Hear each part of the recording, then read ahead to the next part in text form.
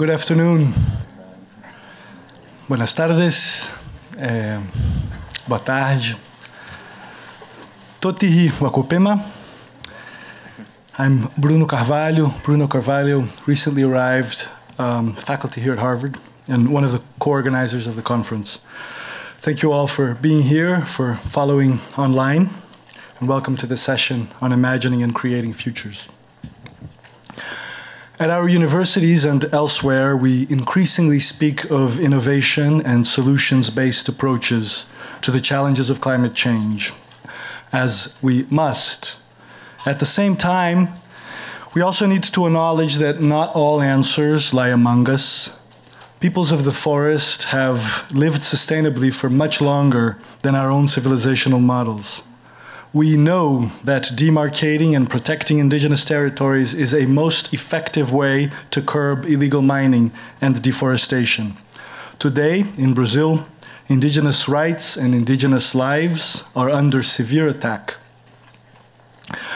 Those that think that it's impossible for us to make a transition to sustainable bioeconomies or that it's unviable to keep our forests standing and our rivers flowing should probably think again. What's unviable is our planet without the Amazon forest. It's not practical to go on with business as usual. It's not pragmatic to ignore the realities of climate change or the material limits of the planet, as our models of development often do. That should be the starting point of, of serious conversations. To create new futures, we will need multiple approaches and all willing hands on deck, from our universities to the Yanomami. And I realize that um, all this might be preaching to the choir, but as we know, the choir needs practice. and as we work to imagine and bring into being different ways of making our increasingly urban societies function, and of finding meaning in the world, we need our innovators, our researchers, our dreamers, and we need to support the peoples of the forest and learn with them. Today, we are honored to have among us one of the most vital voices in defense of Amazonia, Davi Kopenawa Yanomami. Before saying a few more words about him, I'll introduce Helder Perri Ferreira, who will come to the stage and translate from Yanomami. Helder received a PhD in linguistics from Radboud University in the Netherlands. He's the organizer of a Yanomami Portuguese dictionary and now works at ISA, the Instituto Socioambiental, Socio-Environmental Institute, a leading NGO who works closely with Hutukara Yanomami Association, um, founded by Davi and others in 2004. Helder, Davi, and our friends at ISA asked us to show a brief video of their latest campaign.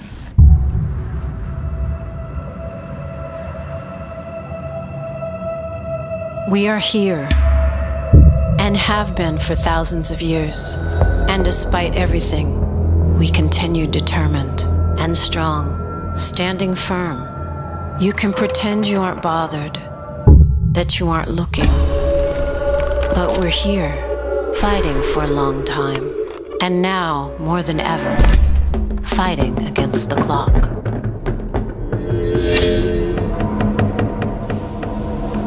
If there's any diversity left in the forest, it's thanks to us.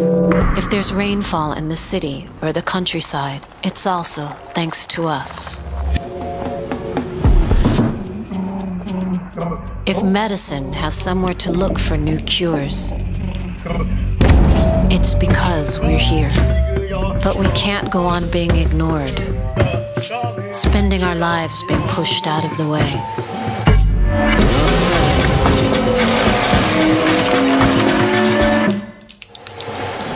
That's why we're going to keep on resisting, determined, standing firm. Because we are the forest.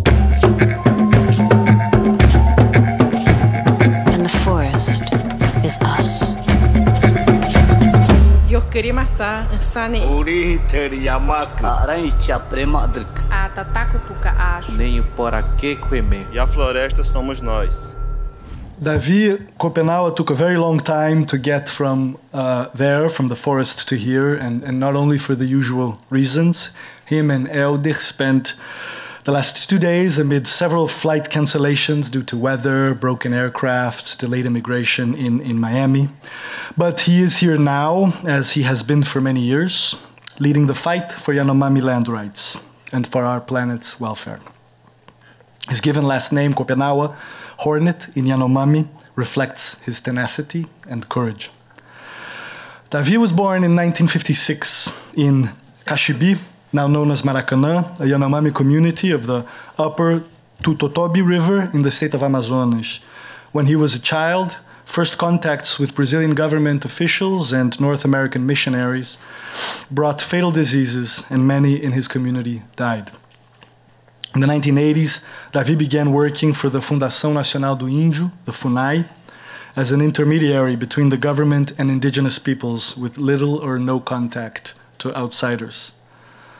Since the invasions of Yanomami territory in the 1980s by illegal gold miners, Davi has worked for the protection of the forest. Back then, his actions resulted in death threats. This is happening again. After a major international campaign in the late 80s and the 90s, led by Yanomami, by Survival International, and the Comissão Pro Yanomami, the Brazilian government recognized their land rights in 1992. Covering over 9.6 million hectares, it is one of the planet's most significant reservoirs of biodiversity, as well as home to over 25,000 Yanomami. Davi has worked with NGOs on innovative bilingual education, aiming to help the Yanomami defend their rights, and setting up the NGO Urihi, which means forest, which trained Yanomami health workers and successfully reduced rates of malaria and other infectious diseases. He has received numerous awards for his efforts, including from the UN and the Bartolomé de las Casas Prize in Spain. With anthropologist Bruce Albert, he is author of The Falling Sky, published by Harvard University Press in 2013, which brings together a moving first person account of Davi's story, a reflection on Yanomami culture and cosmology, including shamanic visions, and a haunting critique of the world we've built. It is a book that leaves no readers unchanged. It wasn't easy for Davi Kopenawa to join us. Thank you all who made it possible. And I can't imagine a greater honor than introducing him. So please join me in giving him a very, very warm welcome. Ipa Repara Wahuiman.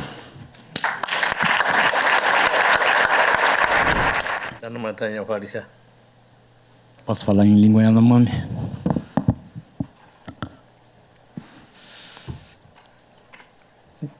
Pei na baba. Oma que oma que tá aqui. Vocês, vocês brancos, escutem o que eu vou falar. Hapana, gam hapana yaku bihio patab. Kaho nabo oma que Nabuamak pata wano hon yalo. E paiatã o bioma. E caminha. Caminhão rapa raio pra mubaru. Caminhão Davi Copenau Yanomami. Urihi Urihi no Amatema. Yanomai tem por uma bubihioi. E yata Herimau bihiom kahwa maka. É, vocês é, aqui tem muitas autoridades, muitas pessoas importantes aqui. E eu quero falar o seguinte, é, mas antes eu preciso me apresentar. Eu sou Davi Copenaua, eu sou lutador, é, é, defensor da floresta, eu luto pela saúde dos Yanomami e eu, eu quero falar o seguinte. Patabã. O editor já não mais anuncia muito. O macbico não mais. Caminhamos urihi bahama. Brasil urihi hama. Caminhamos que ahi bahama. Te yai todo hita mi yaro. E nabo patamui, nabo patamorewa ana. Wa mare ke ya bu ka yaro. Wa mare ke wa ya ma yaro. E ya tenia o am ka ho ma ka. Bom, é o seguinte, é, vocês talvez se perguntem por que, que eu estou aqui falando, é, fazendo essas demandas que eu, que eu vou fazer, vocês autoridades, que, por que, que eu estou fazendo essas demandas? É, não, não pense que eu estou fazendo à toa, não, porque lá na minha terra, lá na minha, na minha casa as coisas não não estão nada bem, não estão não tão nada bem. Anat koyalo hoido riam muam au riam momak peria pokadua yalo waman tablaimi te uri totihu mai. Bihikunumai de ai Ai na pa pata morewa. Ba wa ko la yo ma yalo. Foi de da mo hoshima. Vocês aqui de longe, vocês talvez olhem a floresta e achem que está tudo bem, a floresta está de longe, ela parece bonita, mas é, para quem está ali dentro, uh, não, não, não, não estão, as coisas não estão boas, não. E principalmente porque agora é, chegou um novo presidente. É, que não está prometendo coisas muito boas. Perde aí. Na bapata morewa.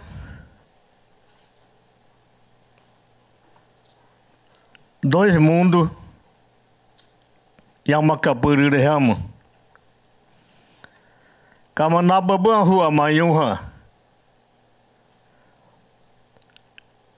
Indígena brasileiro Urihi Urihibhama. Pachana hua Yoti. Todihitã Henimaimehe. Urihi Wayamatema. Urihiham Mashidaham Taba Toauihi, Mamashiba e Mamashiba Aui, Eiterra Patamorewa, governo, governo Patamorewa, Anhai, Anhai Totihimaki, Aidhotihama, Anhai Totihibloimi, Hoshimi Trashel Hayumati, Kuyaru caminha, Yai Patahishio, 나버버셔 e Uritari 야마기셔 야마기시 Toblaru Buruaimi. Bom, é, os, os, os Nababa, os não indígenas, vivem em um mundo diferente. Nós, povos da floresta, nós andamos na floresta e os, os Nababa muitas vezes não, não, não escutam o que está acontecendo na, na floresta. É, Agora o, o presidente às vezes diz coisas boas, às vezes e muitas vezes diz coisas muito ruins, é, principalmente sobre os aqueles não indígenas que vão é, retirar minérios, é, vão cavar a terra em nossa floresta para tirar minérios. É, ele fala é, ele fala como que apoiando essas pessoas e isso não está nada bem. Nós, com, a, com, com esses pessoas trabalhando na floresta, tirando, a, cavocando a, a, a terra, nós não vamos viver bem e vocês não vão viver bem também não. Não tá? Bem, Pataba. Rabana caminha já o alto com o birril. Eu quero. Já roiamu birril em mim. e caminho em rato com em mim. Carro pataba uma que uma que tá. Kamiyat Peshmau Maui, é, Nabubana Terraba Tablari Mineração, Mineração Teca aqui, Kamiana e Porriano Maiamacana, Porriano Mamiequana, Povo indígena brasileiro Yamacana e Yamato Peixe Maimi. Então, eu vou falar claramente aqui e não vou ficar me escondendo. É o que, é, é, é, isso é o que nós queremos, nós, povos indígenas, ou melhor, o que nós não queremos. Nós não queremos mineração em nossa terra. E eu falo isso pelos Yanomamis e pelos Yekuana e pelos outros povos da floresta. Aí, mineração, Ana. Udibi tote hubukita. Uri teria maka. Mineração ano. Shawara. Wai teri mui. Uri wari awi. Mau shami maui. Yaro no mamaui. E te shone waro maki yaro. E ia tenha ui bihioma. O que, me digam vocês o que, que a mineração traz de bom? O que, que ela traz de bom? Ela só traz, é, só suja a água, só traz doença, só traz conflito social. É,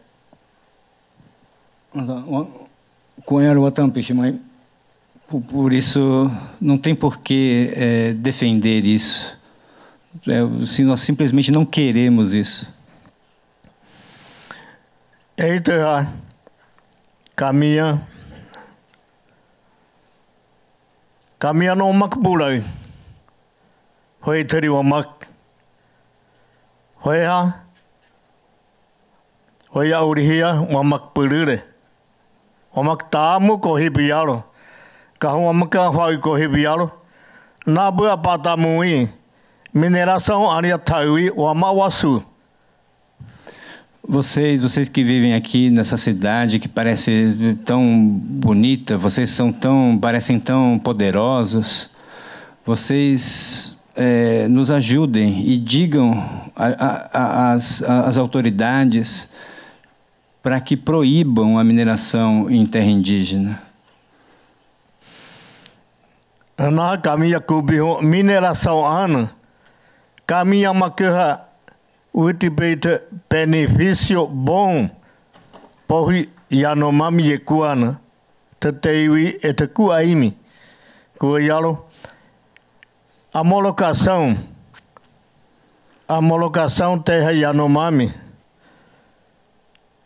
O presidente do Brasil, Ana, a Urihi, com a, com a, com a Hikimake Mayalo, Kamiyamakene Yama Urihi Noaman e carro maquixa. Então, não há benefício pra, da mineração para os Yanomami e para os Yekuana. É, portanto, oh, oh, não, benefício a mim, Yaro, não vai trazer benefício para o povo Yanomami. Homologação. Só tá. vai trazer é, a doença, morte, problema, pobreza do rio. Isso aqui vai trazer.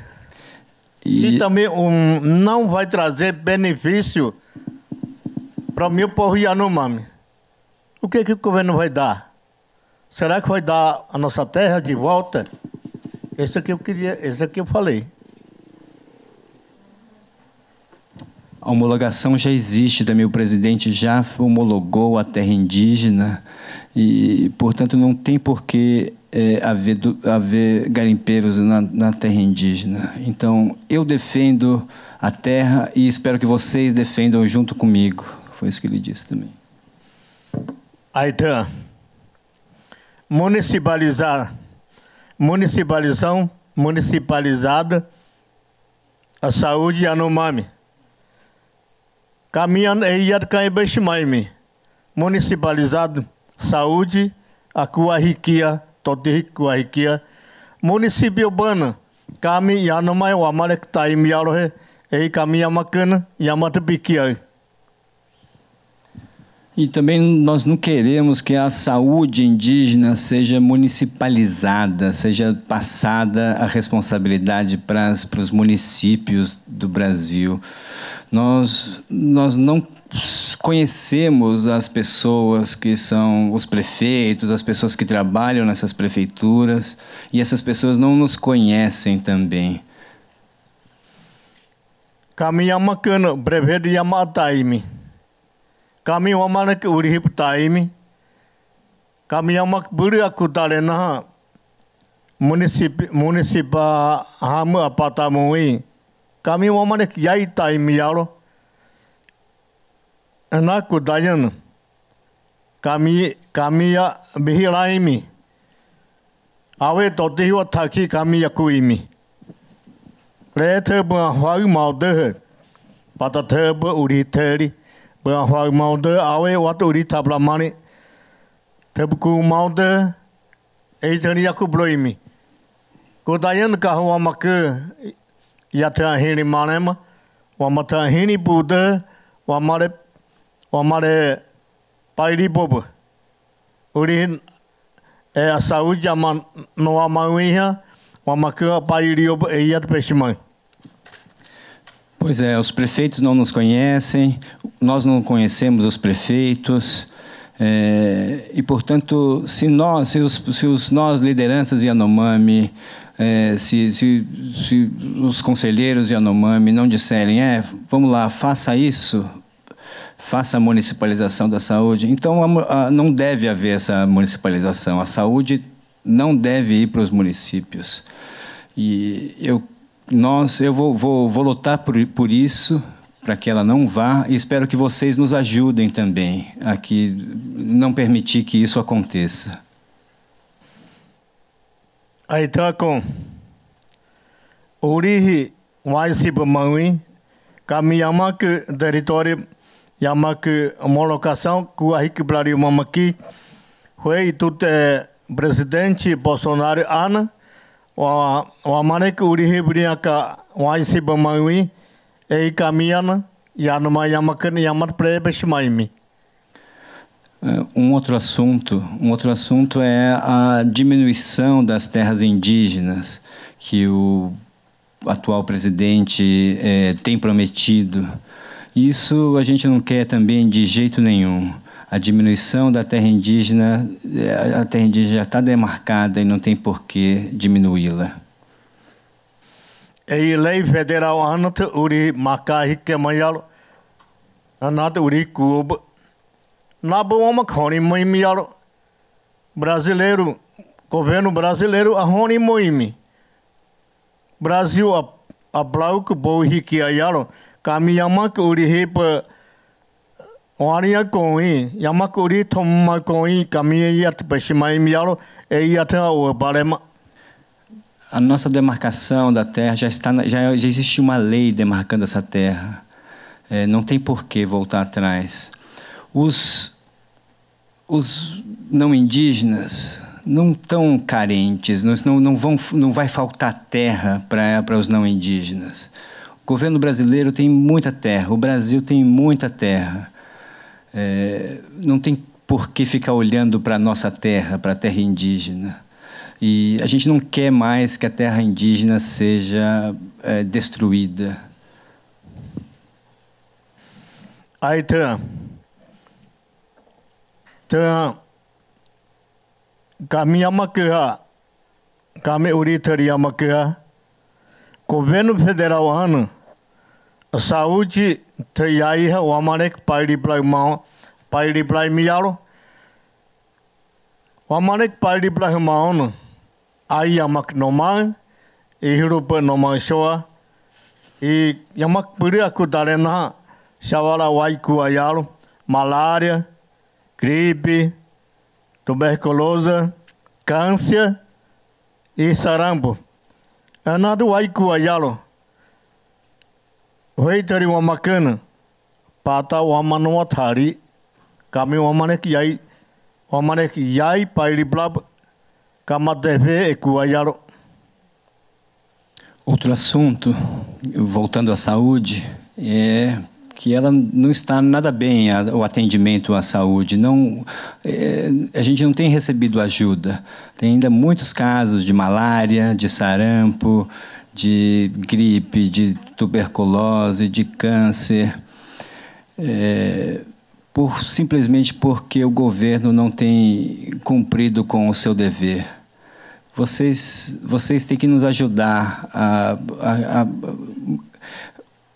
mandar, demandar dos seus, do, do, das autoridades que nos ajudem a, a, a, a, fornecer uma saúde decente, que é obrigação do Estado brasileiro. Então, um recibo parceiro. Parceiro, porque aqui, o Amarek Pari Blaiwihi, Omar não amo para lá, não amo para lá Instituto Social Apietão Omaka Omaka Hirai. Ei kami Omarek Omarek Pari Blaiwi. Amablari ode foi governo do governo Bolsonaro Bolsonaro ana a hoyari de a blamani de. Uite ben yamak yamak pari blale bota ya bihiku yalo e yata wakema. É, um outro assunto é, que me preocupa são é, com relação aos nossos apoiadores, as pessoas que apoiam, apoiam a causa Yanomami, como o Instituto Socioambiental, e que o novo governo tem é, querido, tem, tem, tem, é, tem, tem deixado, tem sufocado, tem está querendo é, deixar é, carente, sem recursos, né? E isso me preocupa muito, porque se essas pessoas ficarem sem recursos, se elas é, ficarem carentes, né, ficarem sem recursos, como que vamos, vão, continuar a nos ajudar? Aí tem Fundação Nacional do, da FUNAI, caminha macumba, caminha irude, o amareke, heru amaui, amakia canha, a uditiplarium, kama, kama hui, presidente apatamuina, a uditiplamana menjalo, kami amak pari blawit kuaim, ai besomi problema pe ai honai a hamma hamaplamaran ai ministro a yanomai yamak no himang maui a no te make maiaro e te a caminha kai chuhurua Um outro assunto, outra questão é a FUNAI, é, que o novo presidente é, enfraqueceu, quase é, quis acabar, mas enfraqueceu e colocou num lugar uma pessoa que, que simplesmente não é amiga dos Yanomamis ou, ou do, dos povos indígenas, com quem os povos indígenas não têm uma, uma, uma relação ótima. E isso nos preocupa, porque a FUNAI é uma instituição do governo de que, quer dizer, que deveria cuidar da gente. Nós Davi disse: Nós somos filhos da FUNAI. A FUNAI é o nosso, é o, é o, é o nosso pai que deveria estar é, tá olhando pela gente, mas esse novo governo enfraqueceu a FUNAI e isso me preocupa bastante.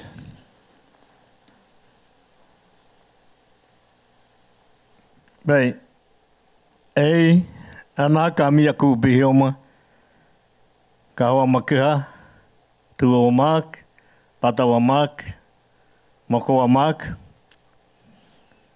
hoyama, hoyahihama, kamia waro ke mayara ya bihito blaru, nanabo wamaku, mocionado wamaku, wamak bihito blaru de, anaya, waisipku bihim, te makem hea, Bom, essas eram as poucas palavras que eu queria colocar aqui para vocês.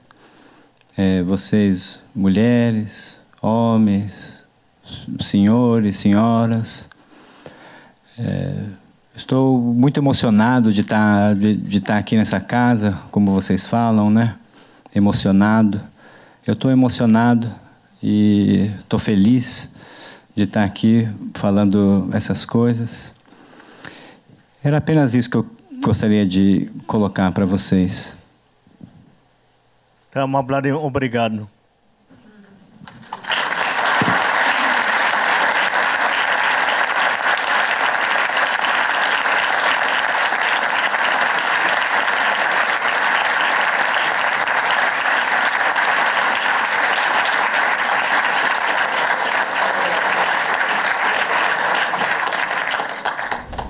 Então eu vou explicar para vocês que eu falei Yanomami.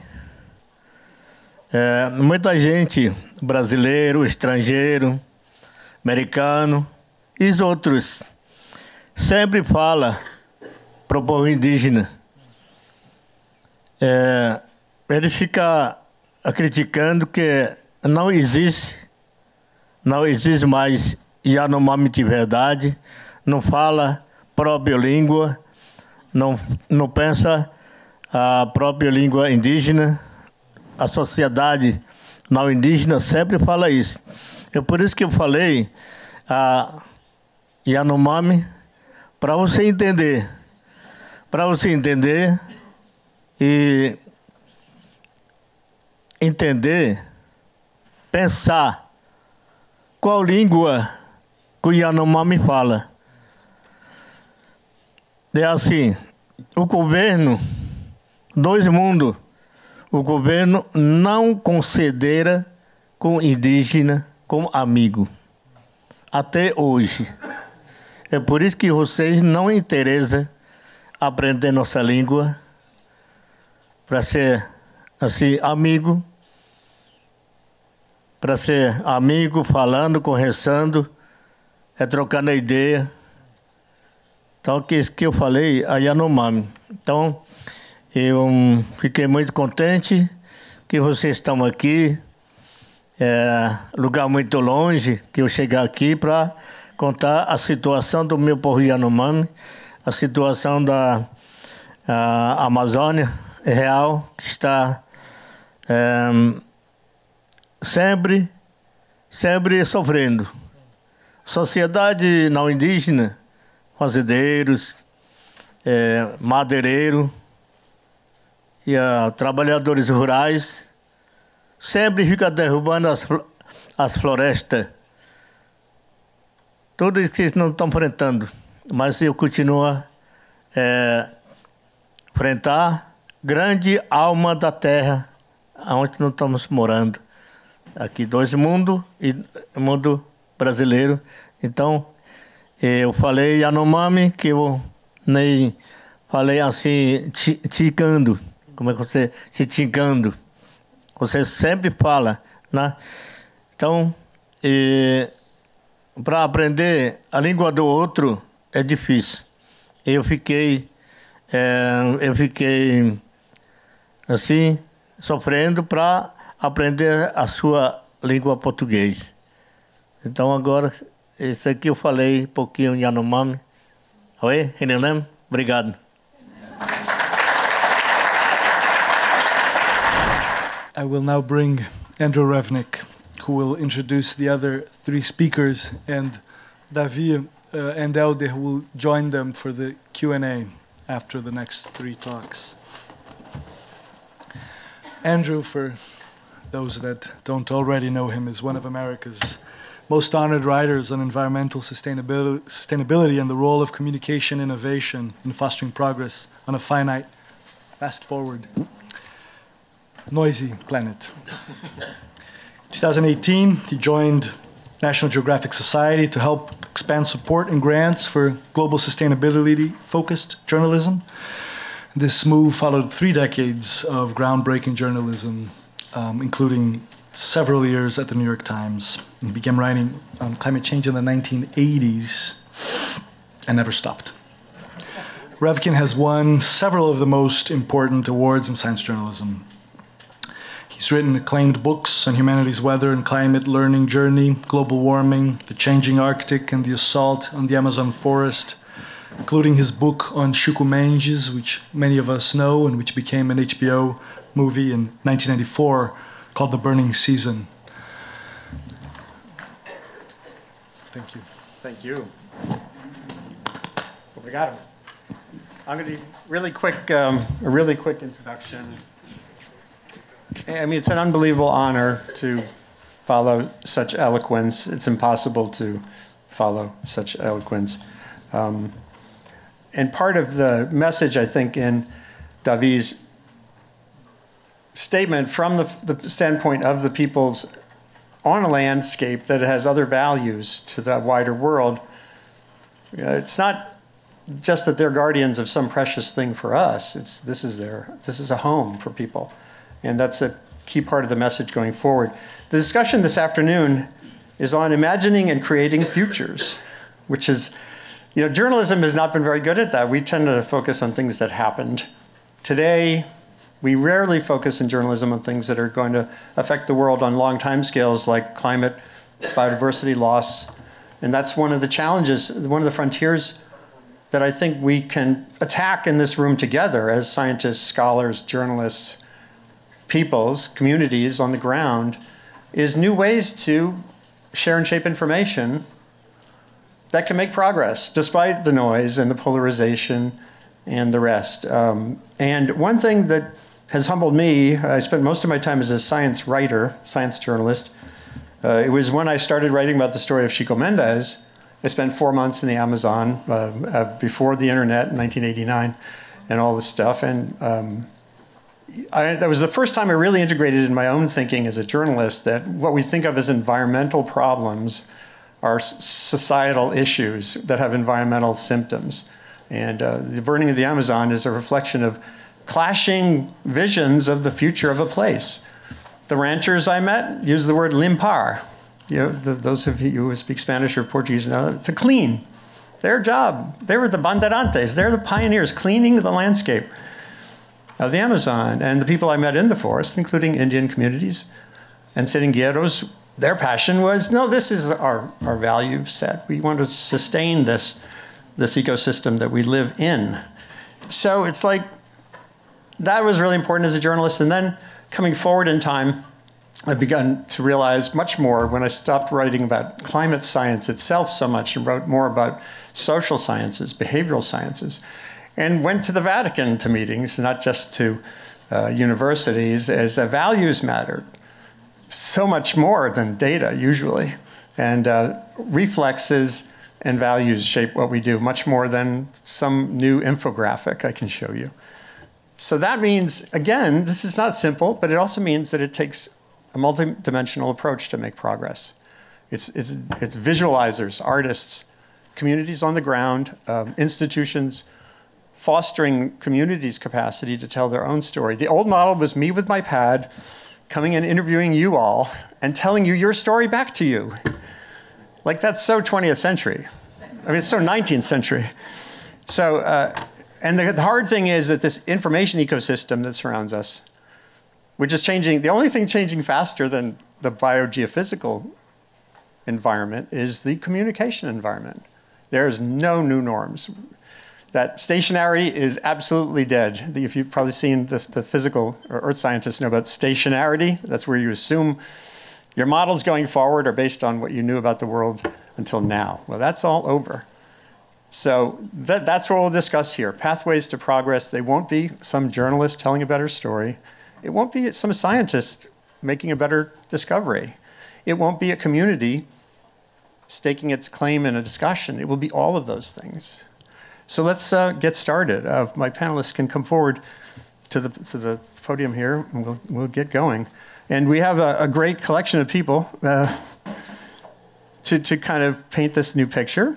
Um, here's Luis uh, Gilberto Murillo, who is, um, it's, so simple, it's so simplistic to describe you as a former minister of the environment, because he has had uh, education in mining and engineering, experience uh, as, a, as a hostage, I mean, a kidnapped victim, all kinds of amazing turns in your life. And in your 20s, you started out focusing on environmental sustainability in the state of Chocó, uh, so in Colombia. So, but that's just scratching the surface. Um, we have a great reporter, a great journalist here, Eliane Brum. Come, come on. Uh, who's really, uh, is there any journalist in Brazil who's gotten more awards? I don't know, maybe, maybe. Uh, just tr track her columns in El País on, on the current events. She splits her time between Altamira and that southern part of Brazil, which is uh, where most Brazilians are. And being in Altamira must be an experience, just, just that one thing. As Marcelo um, Salazar described to me, it's within a circular radius of Altamira, you've got dams, you've got mining, you've got deforestation, you've got indigenous communities doing sustainable harvests. So that's like a universe in itself. And finally, uh, Augusto Zampini Davies, I assume he's here somewhere. Oh, yeah, good. We were just talking. Who's um, has a master's degree in well-being. I love that. We should all have that education and human development. Uh, but he, he's uh, with the Vatican and uh, pursuing. Um, um, I have to find out what a dicastery is. You could explain. A ministry. A ministry, a di dicastery. But, but his, uh, his whole approach is uh, focused on, on this idea of integral human development.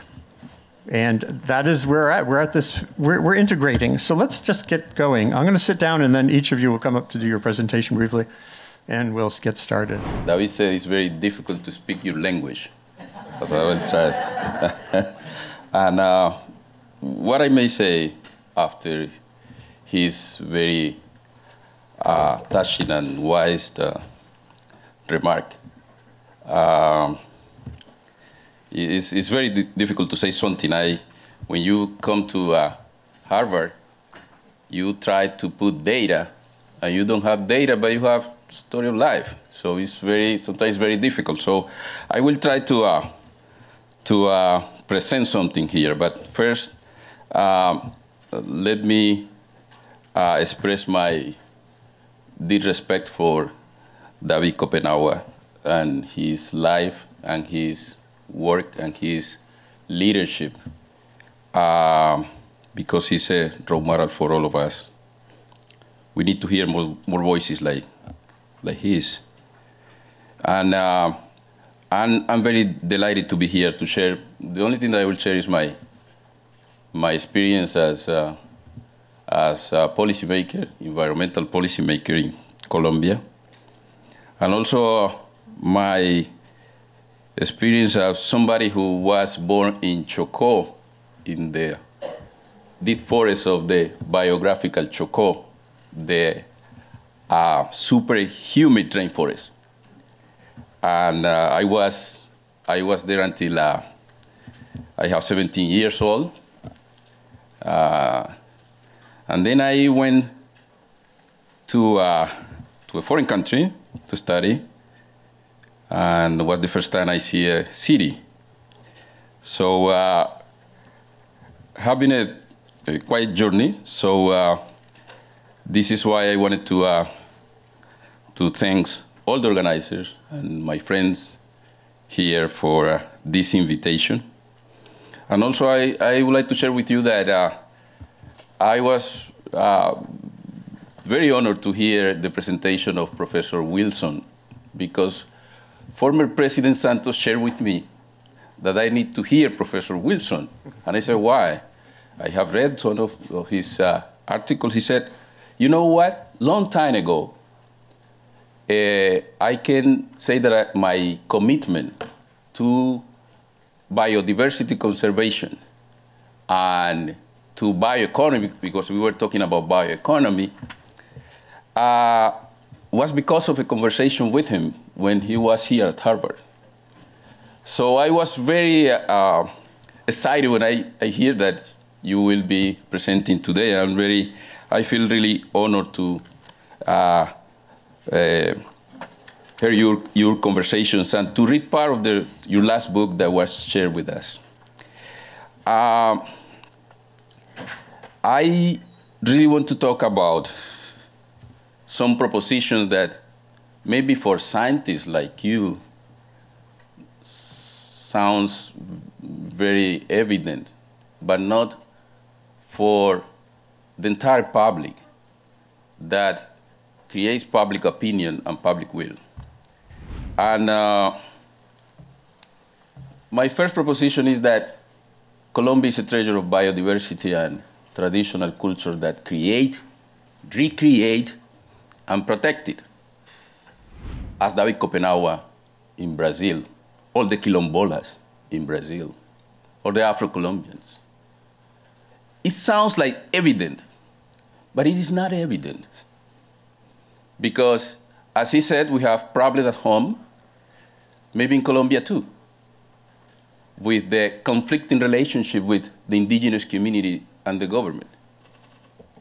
Or with what happened to one of the recipient of the environmental Goldman Prize, Francia Marquez, that uh, some illegal criminal networks tried to kill her because she is defending, she's an Afro-Colombian leader, the most influential leader in Colombia, and she's defending the rivers and, and defending the environment and, and demanding rights for her community against illegal mining.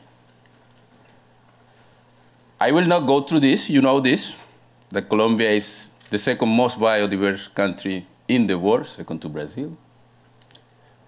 Uh, this is our position in a, too fast, our position in a, in a global context. And as Professor Wilson said this morning, you have to focus on nature and biodiversity conservation if you want to respond to the challenge of climate change. It's not only a matter of technology, engineering. It's also related to protecting the nature and its cultures. The second proposition I have is obviously there is under risk. Colombia is a case for that. Degradation is a huge problem. And also that limits our possibilities to adapt to climate change. As Brigitte Baptiste, who is here, director of the uh, National Institute of Biodiversity in Colombia, uh, said that the most effective way to, to adapt to climate change is to have ecosystem, natural ecosystem in good shape, in good health. And people in those ecosystems in good health. Uh, and I, I want to show some of the, this is what we are confronting. This is the scenario for uh, 2100. This is the scenario that Colombia is confronting. Uh, this is a data from the institute that we did lead and also the Institute for Environmental Studies and Meteorology of Colombia, IDEAM. And you see, we can move, if nothing's done, to increase of 3 grados Celsius temperature in Colombia. You see the Amazon, you see the Caribbean part of Colombia. And also look at the precipitation. And we are talking about Chocó, for example, when I was born, we have between 10 and 12 millimeters of rain a year. Imagine an increase in 10, 20%. It's a disaster. Keeping in mind, obviously, the bad shape of our ecosystems. The challenge of deforestation, a huge challenge. We, we did everything we could to stop deforestation, but was, it's a tremendous challenge. There are global factors, there are national factors, regional factors that are moving colonization into very valuable ecosystem that are the base for a new economy, for an economy that should be sustainable. That's the situation we are confronting now.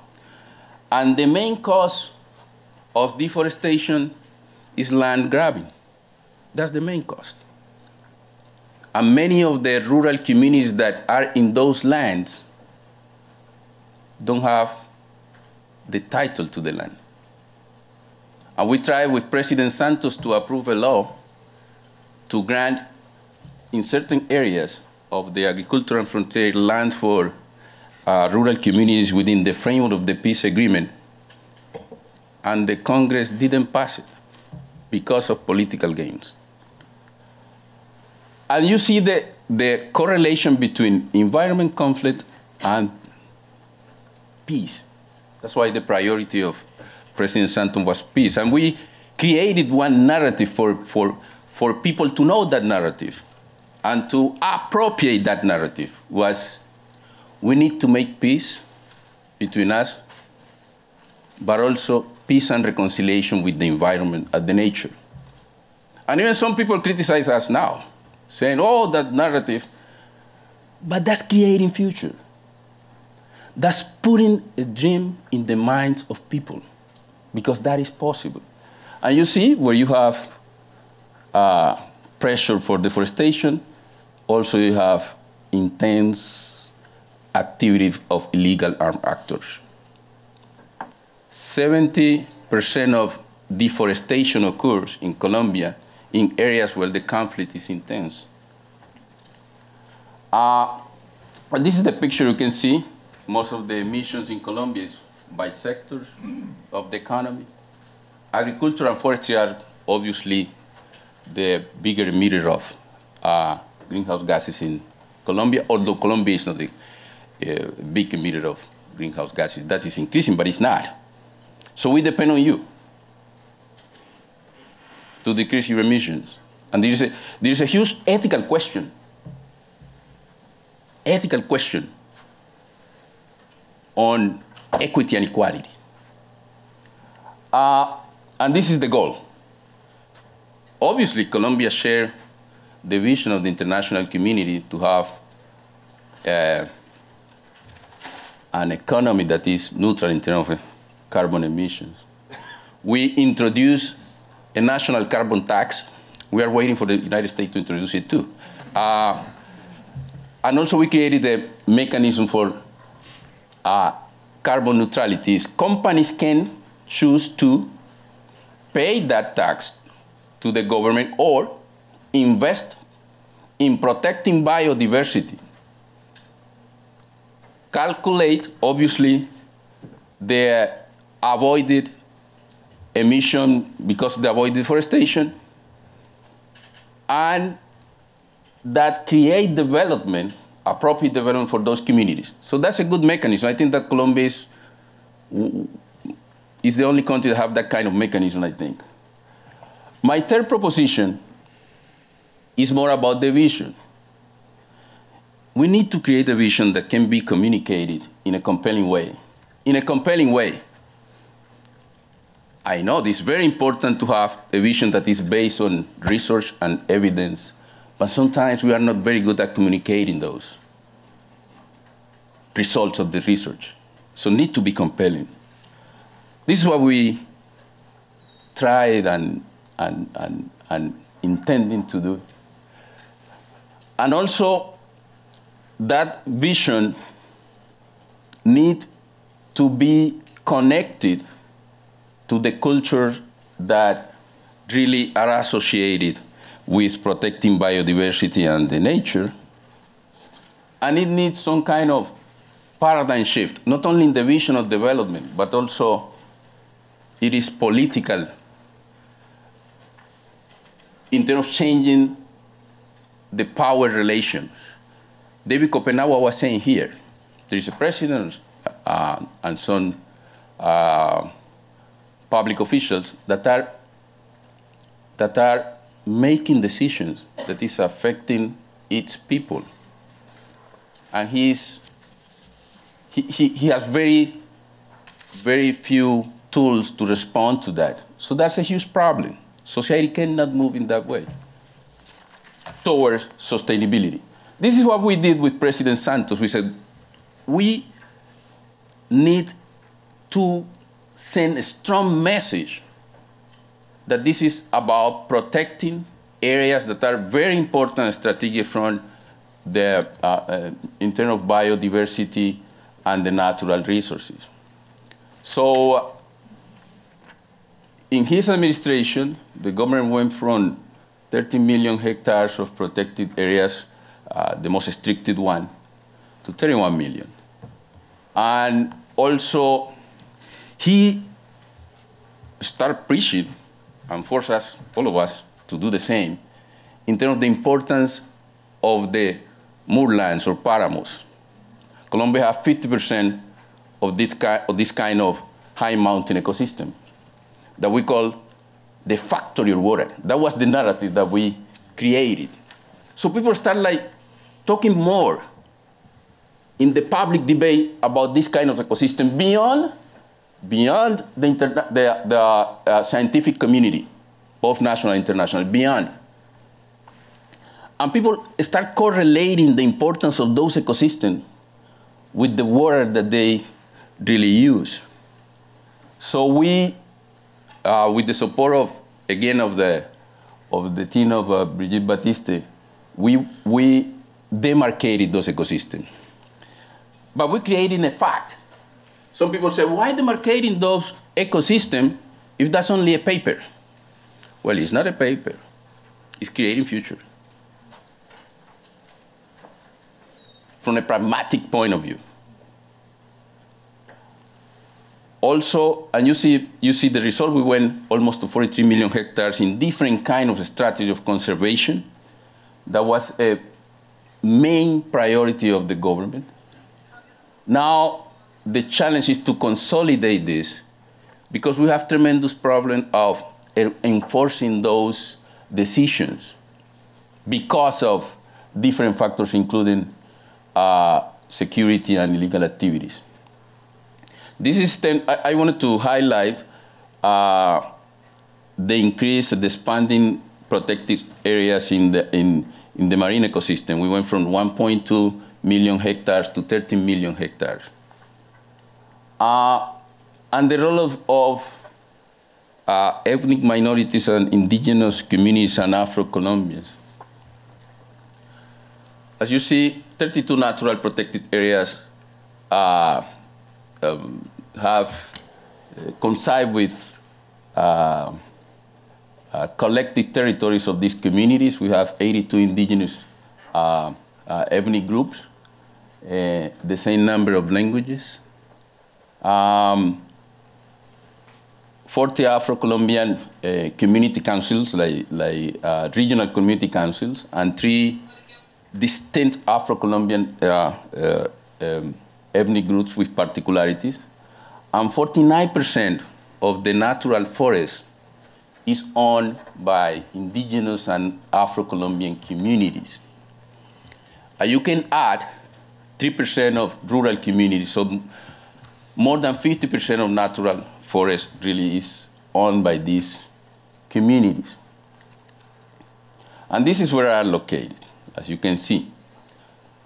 Mainly in the south of the country, in the Amazon basin, the Amazonia, and also in the Pacific coast when I came from. And this is in the Amazon, as you see, almost, uh, we have 13 protected areas in the Amazon, almost uh, 46 million uh, hectares, 169 indigenous uh, reservations. And it is 40% of the Colombian territory and 6% of the Great Amazonia. But very important for the country. And I want to show you and, and, and to mention this exercise that we did uh, in Colombia to expand the, Ch the Chiribiquete National Park, which is a, a, a World Heritage of the UNESCO. And the list that you see there are all the factors and actors that you need to align in order to expand uh, uh, any protected area in the country. Chiribiquete went from 1.2 million hectares to 2.7 million hectares, and then we end, end up uh, last year in 4.3 million hectares. And you have first to align the Ministry of Mine and Energy. We have this, the so-called uh, cooperation agreement between, between ministries that you cannot expand a protected area if you don't have the agreement of the mining and Energy Ministry and the National uh, Oil Agency and the Mining Agency. So this is a tremendous work. But in addition to that, all the consultation with uh, ethnic uh, minority groups, indigenous communities, the work that scientists need to do. And something that is critical is the role of uh, technical NGOs like WWF or, w, or WWF or CI, all these international organizations and some national organizations and foundations play a key role in providing technical assistance to expand these uh, uh, protected areas. And my fourth proposition is uh, what I have, have been saying. You need to have a vision, communicate that vision. You need to have some kind of shift in power, uh, particularly when it comes to um, rural communities and uh, indigenous and, uh, and ethnic minorities. And also not have too reliance on their on technical proposals that you consider perfect, but then the process can destroy them. And this is the vision. We had a vision. We said 40, 40 million hectares of Colombia have potential for uh, sustainable agriculture. 60 million have potential for uh, developing a different economy, for developing bioeconomy uh, based on, on, on, on uh, biodiversity conservation and forest conservation, and some area of, of stabilization in the country when you can stabilize the agricultural frontier. And this was the vision that we worked with President Santos and others to, for, the, for stopping uh, deforestation in the Amazon, like closing the agricultural frontier that was part of the peace agreement. First, to have these two areas for agroforestry and also some kind of buffer for uh, ecosystem services. And also define and clarify the property rights of uh, rural communities in those areas, in those areas, because our communities that are forced to go into the jungles. This was based on technical exercises that were done by the Minister of Agriculture, the Minister of Environment, and others. But we tried to create this in a very simple way that was possible for any Colombian to understand and support it in terms of trying to create this vision of the, of the future. This is what I wanted to, to share with, with all of you. I have much to say, but uh, this is part of how, from a pragmatic way, you can really advance in creating a vision, communicating that vision, and really gaining some political will and political support to implement a new model of development that is really move, moving into a sustainable world that can respond to the challenge of climate change. Thank you very much.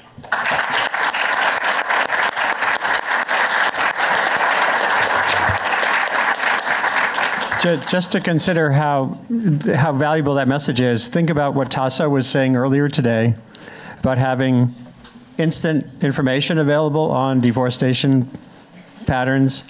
And the question was, well, who do you connect that information with? So just uh, one of the distilling solutions things here, I think, just think about connecting data and voices from resource frontiers with audiences that can matter. But who are the audiences, et cetera? That leads, so just keep that thing in mind. That seems to be a part of what you were just describing.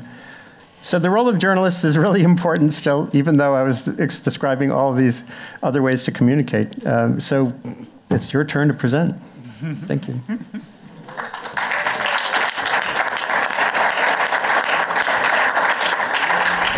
Hi. I'm very happy to be wel welcome in Boston and also very happy that the president of my country is not welcome in New York because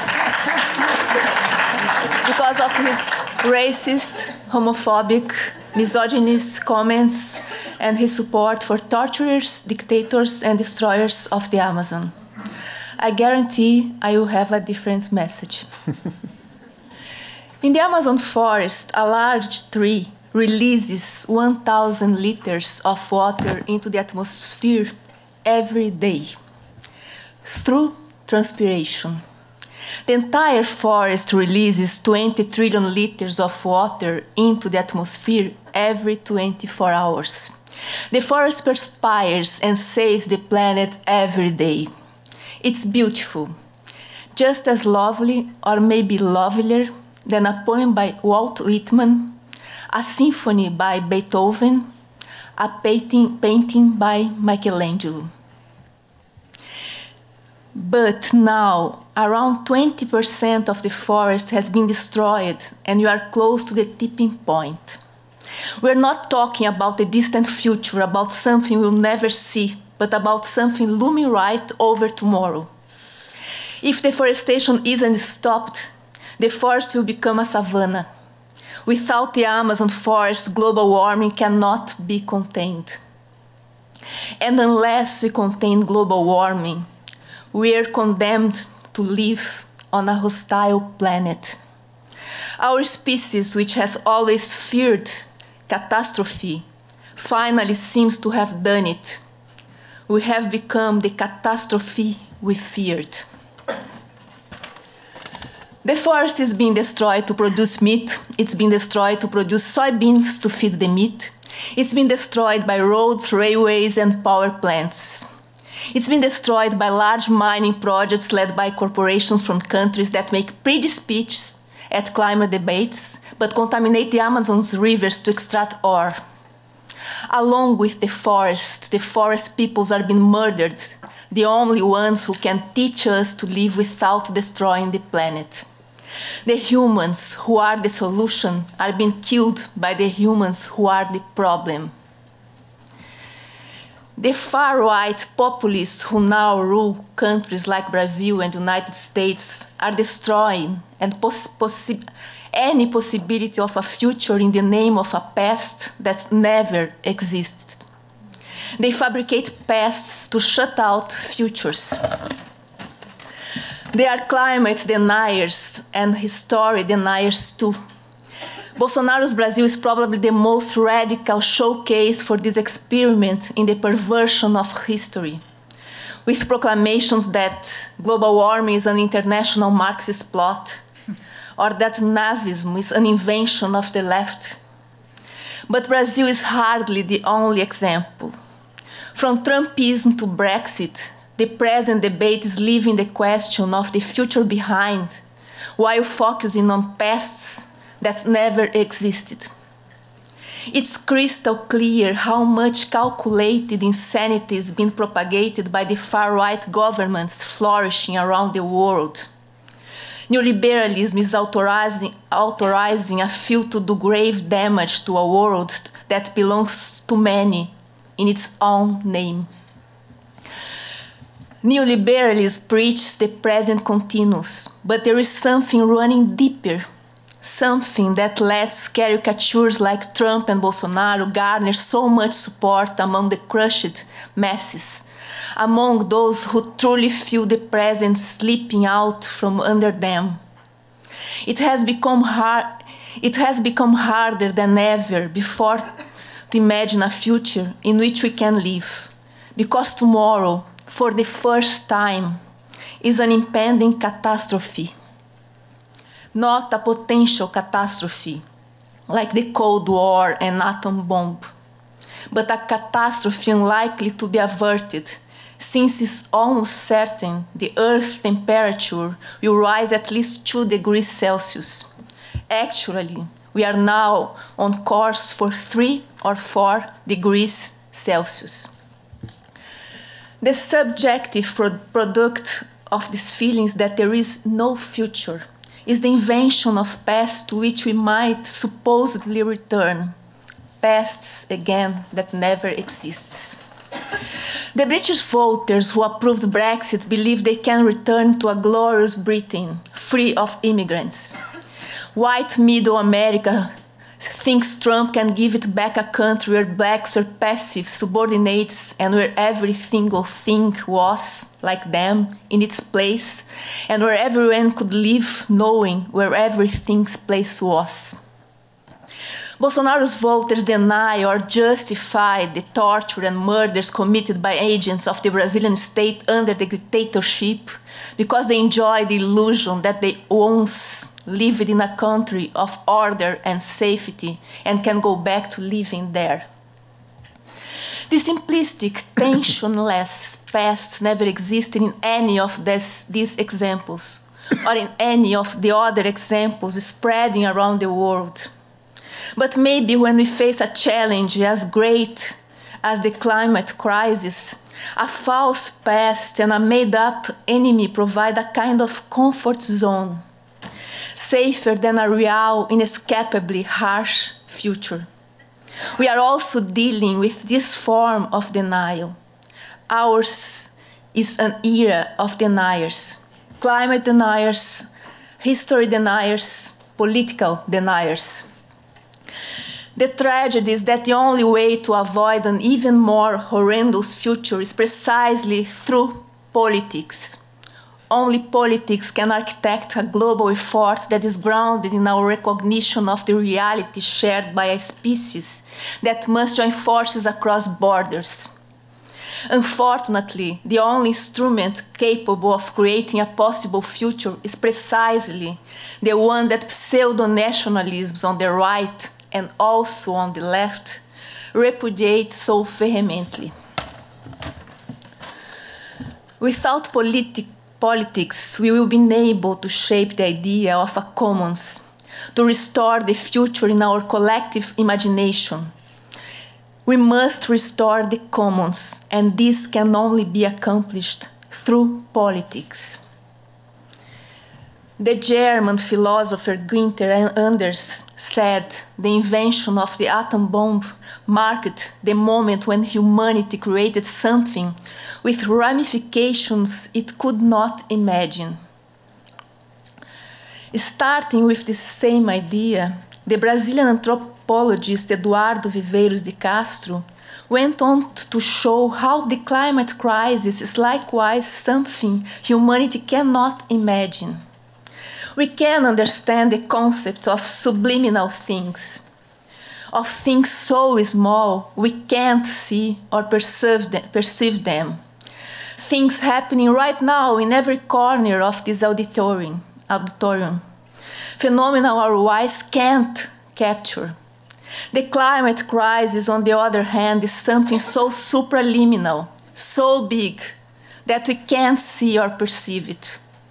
In this case, precisely because it is enormous. This too is denial. And understanding this kind of denial seems vital to me if you are to understand the resurgence of far right populist governments around the globe.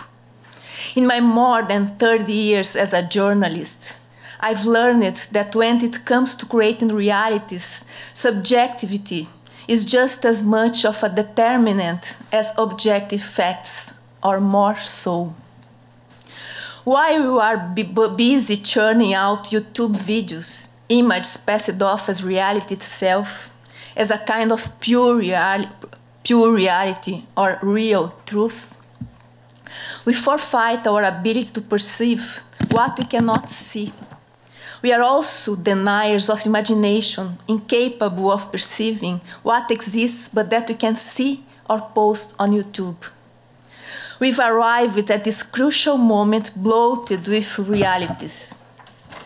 We consume only one type of reality and we've grown fat on it. We're unable to grasp other realities because we deny imagination.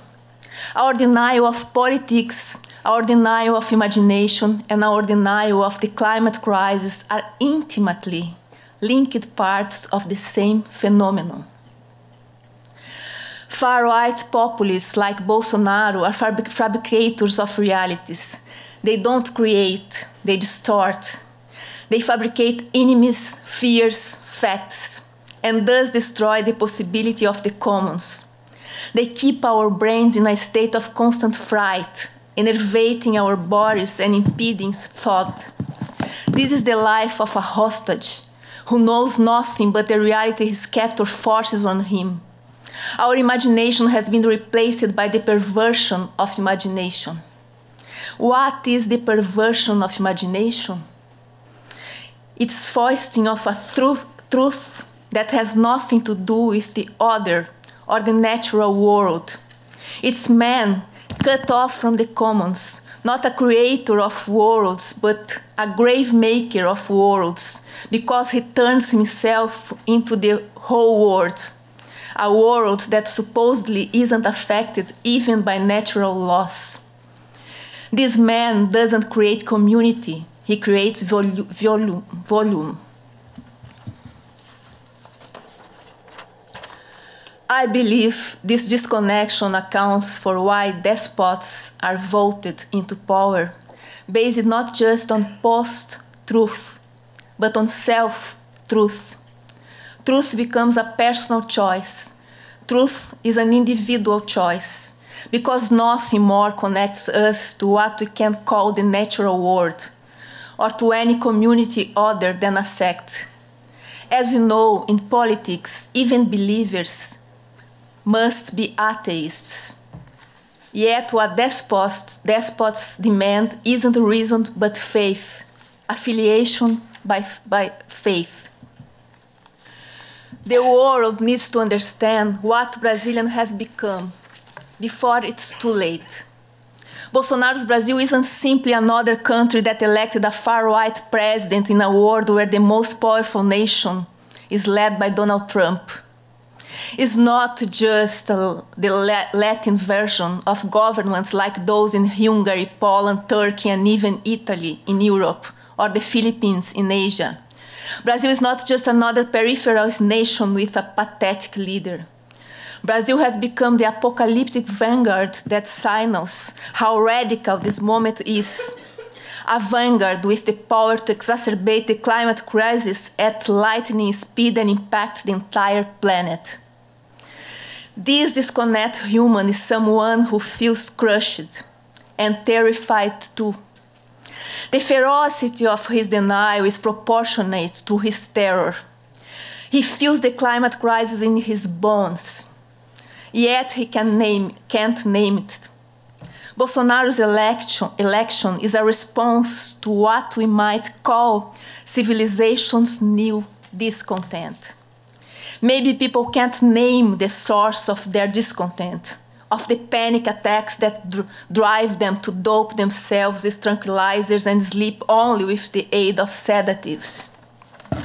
The average, average citizen might apply more familiar labels to the corrosion of their quality of life, air and water, to the incitement of hatred and the view that the other is a threat, their constant fear of contagion, the feeling they walk in quicksand, a climate that's no longer like the one from their childhood. But the name of this new discontent, discontent running through our realms of human experience is climate crisis. Bolsonaro was elected on his pledge to go back 50 years 50 years ago, Brazil lived under a mil military dictatorship. It was also a time when science promised nothing but progress and delivered no bad news that might cons constrain an individual's life or a government's actions, like the news of global warming. It was also a time when white, heterosexual men held power and knew precisely who they were. They may have faced some resistance from minorities, but they still enjoyed absolute hegemony.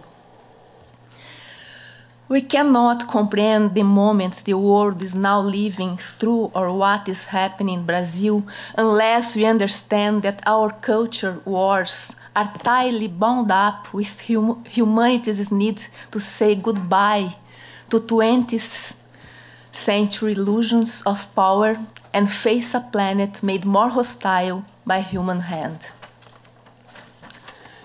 The Bolsonaro administration promises a new era, a return to a time not only free of doubts and insecurity about the present and future, but also a free of doubts and uncertainty about what a man is and what a woman is, or about who is in charge of the public sphere or of the family all of these subjectivities are tied to the denial of our climate crisis. The neoliberals in control of Brazil's economic area have a very clear idea of what they want and have already started opening the Amazon up to exploration and exploitation. Bolsonaro promised to turn the public land occupied by indigenous peoples into private land where mining and agribusiness concerns can't reap profits. The goal is to make more forest land available for capitalist speculation. The process is already underway and at a frightening pace.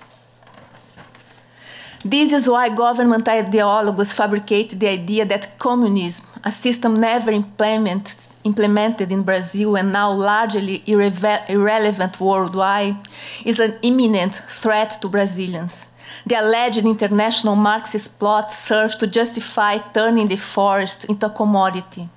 In this calculated fantasy, indigenous peoples who are the chief barrier to destruction of the Amazon are portrayed as a threat to national sovereignty. The deforestation rate for 2018 was the highest in a decade. The mere possibility that Bolsonaro might win had a liberating effect on the, foresters and inflamed violence in the forest. Bolsonaro's messianic capitalism is not stopped life on this planet will be much worse for everyone. The future as something created and something imagined is a dispute in the realm of politics. The future suggested by the climate crisis is a dystopia. It's brutally hard to conjugate life in the present when the idea of future is a dystopia. For life to be possible in the present, we must be able to imagine not only a future where we can live, but a little more, a future where we can, want to live. This isn't just about tomorrow, but about today. It's important to realize that our present is just as heavily impacted by the future we can imagine as it by the past we try to understand. The future we're able to imagine is an active element of the present, sometimes even more than the past. Unless we can imagine a future, we become hostages of those who falsify the past and who also falsify the possibility of a return to what never existed. It seems to me that our most, most urgent task is to be capable of imagining a future based on manifold realities, that is, based on scientific, anthropological, social, and psychoanalytic evidence, but a future that can likewise transcend all of these realities. This is why art has managed to produce the best responses to this radical moment we're currently living through. Our challenge right now is to discover how we can create an utopia grounded in too much clarity. I would like to close by listing, listing the precepts I consider vital to our debate about creating the future. One, at a time of human-made climate crisis, we must reverse political hegemony, hegemonies and shift center and periphery. At a time of human-made climate crisis, the Amazon is the center of the world, or one of the centers of the world, and that's how it should be treated, not rhetorically, rhetorically, but with a real shift the Amazon is as central today as Washington, and much more central than Brasilia. Those who, who would like to transform the forest into a commodity realize this, and they are there. From Brazilian land grab grabbers to transnational mining companies to huge Chinese, Chinese energy concerns. This war is being fought in the Amazon, and it doesn't hurt to repeat the obvious. We are losing. Two, we need to reinvent our relation to space and time. When figures like Sweden's Greta Thunberg say we have to quit flying, they are not only call, calling, calling on everyone to be coherent in reducing their carbon footprint. They are proposing a new relationship with time. We cannot confront the climate crisis, we cannot talk of adapting to the climate crisis without radically changing our species' relation to space and time. Three, we know it no longer makes any sense to see the Amazon as a forest untouched by human hand.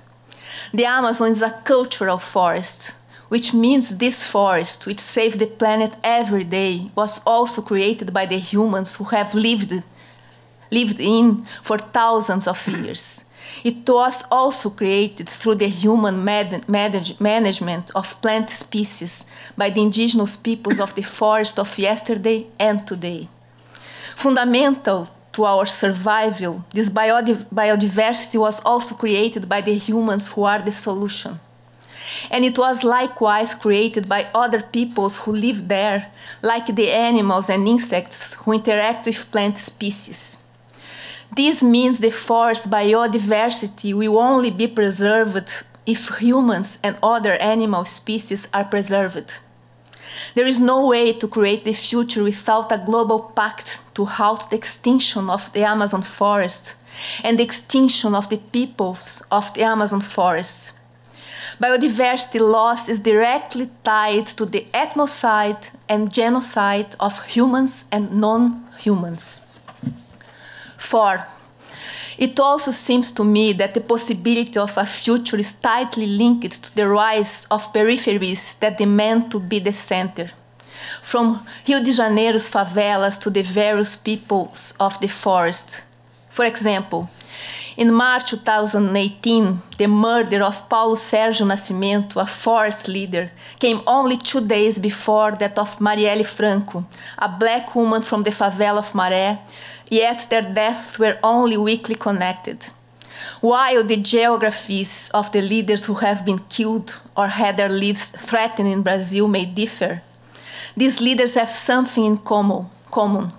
They question hegemonic interests, stand up to organized crime, institutional and non institutional, and represent new emerging forces and exert mounting influence within the dispute over our present. Those who have been murdered, like Marielle Franco and Paulo Sérgio Nascimento, are precisely those who represent new ideas about how to be Brazil. The best and most powerful parts of today's Brazil are the peripheries that demand their place in the center. But the leaders of these multiple, mov movements are being shot and killed. What I want to make clear is that the peoples of the forest have deep understanding of the forest. They live in the forest without destroying it. We know that. But what we need to realize is that they signify even a bit more. They signify even a bit more. They challenge neoliberalism. Instead of property, belonging. Instead of individualism, collectivism. Instead of competition, collaboration. They carry insurrection in their very bodies. They are the uprising incarnate. And that's why they are being crushed. It's fundamental that we understand this because it's through these other ways of existing, these other forms of being on this planet, that we can create the future. Five, it's also impossible to create a future without abolishing the human species rule over other species. We have to understand other species as other peoples. We are exterminating the future of all these other peoples, not just of human peoples. As scientists tell us this week, one million species are at risk. We devour worlds, and now the world is devouring us.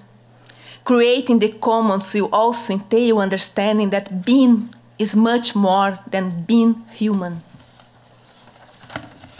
Six, We need to learn to do without hope. This is what the climate youth are telling us childish grown ups at this historical moment. Some adults say these wonderful boys and girls gives, give us hope, and more than one has answered back I'm not here to give you hope. I don't have any hope. We need to act in 2015, when I began writing that hope is overrated, I was lambasted by people who didn't understand how to act without hope. Since hope is something touted by various ide ideologies and faith. The very new generation that has taken to the streets today, especially in Europe and Australia, at the students' climate strike or in movements like Extinction Rebellion, shows it has understood that is possible this generation, which is growing up without prospects for the future, a generation unlike any other in human history from all angles.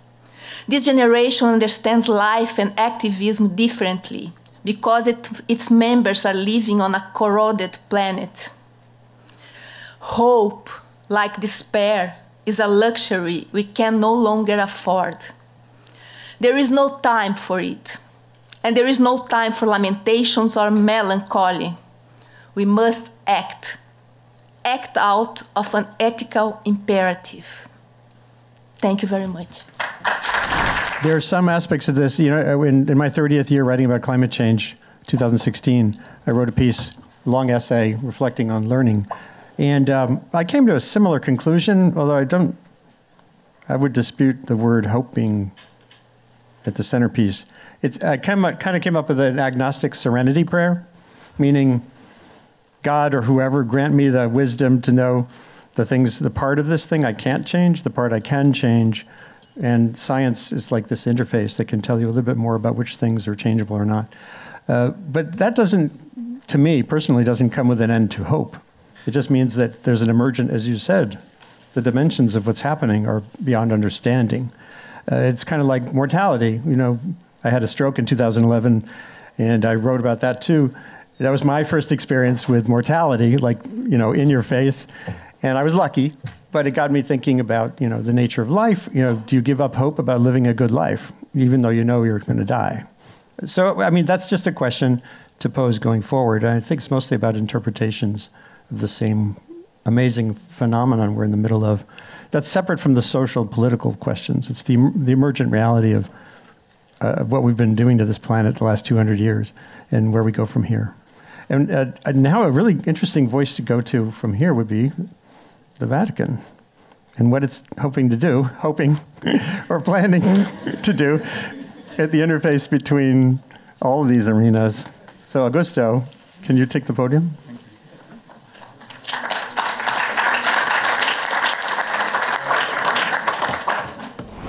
So thank you, thank you very much, uh, and thank you for staying. Also, after a long day and wonderful presentations, I, have seen a lot of people going away. So thank you for staying, um, and um, and I, I, would like to say just to to show you my the spirit of my spirit of hope and ecumenism that I'm an Argentinian in the middle of many Brazilians. You see.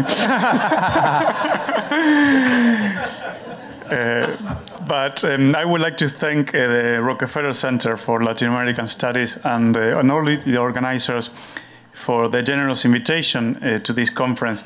The fact that Harvard University uh, is hosting a conference on, on the Amazon, uh, even when I told people I'm going to a conference where I'm on the Amazon to Harvard, to Harvard, they say. So, so the fact that you are hosting this in order to discuss the future of the planet is encouraging, is really encouraging for many of us. In the case of the Catholic Church, it's a boost for the preparation of the upcoming Synod of the Amazon in October 2019. This is a one month gathering of the Pope with all the bishops of the Amazonian region and some scientists, experts, and consultants and it's the process, it's the outcome of a four-year process of consultation and generating a network, a massive, massive network in the, all the region of the Amazon, led by a Catholic organization called REPAM, Red Panamazonica. And, um, and, and also, I have to say that more than 80,000 people have been consulted and participated in local assemblies.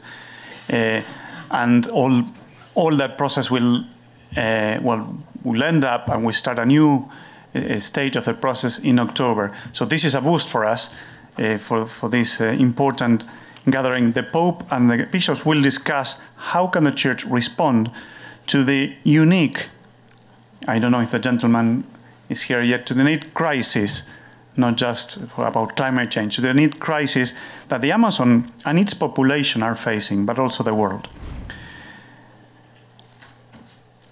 So my presentation, hence my contribution to imagining a good future for the Amazon will be threefold.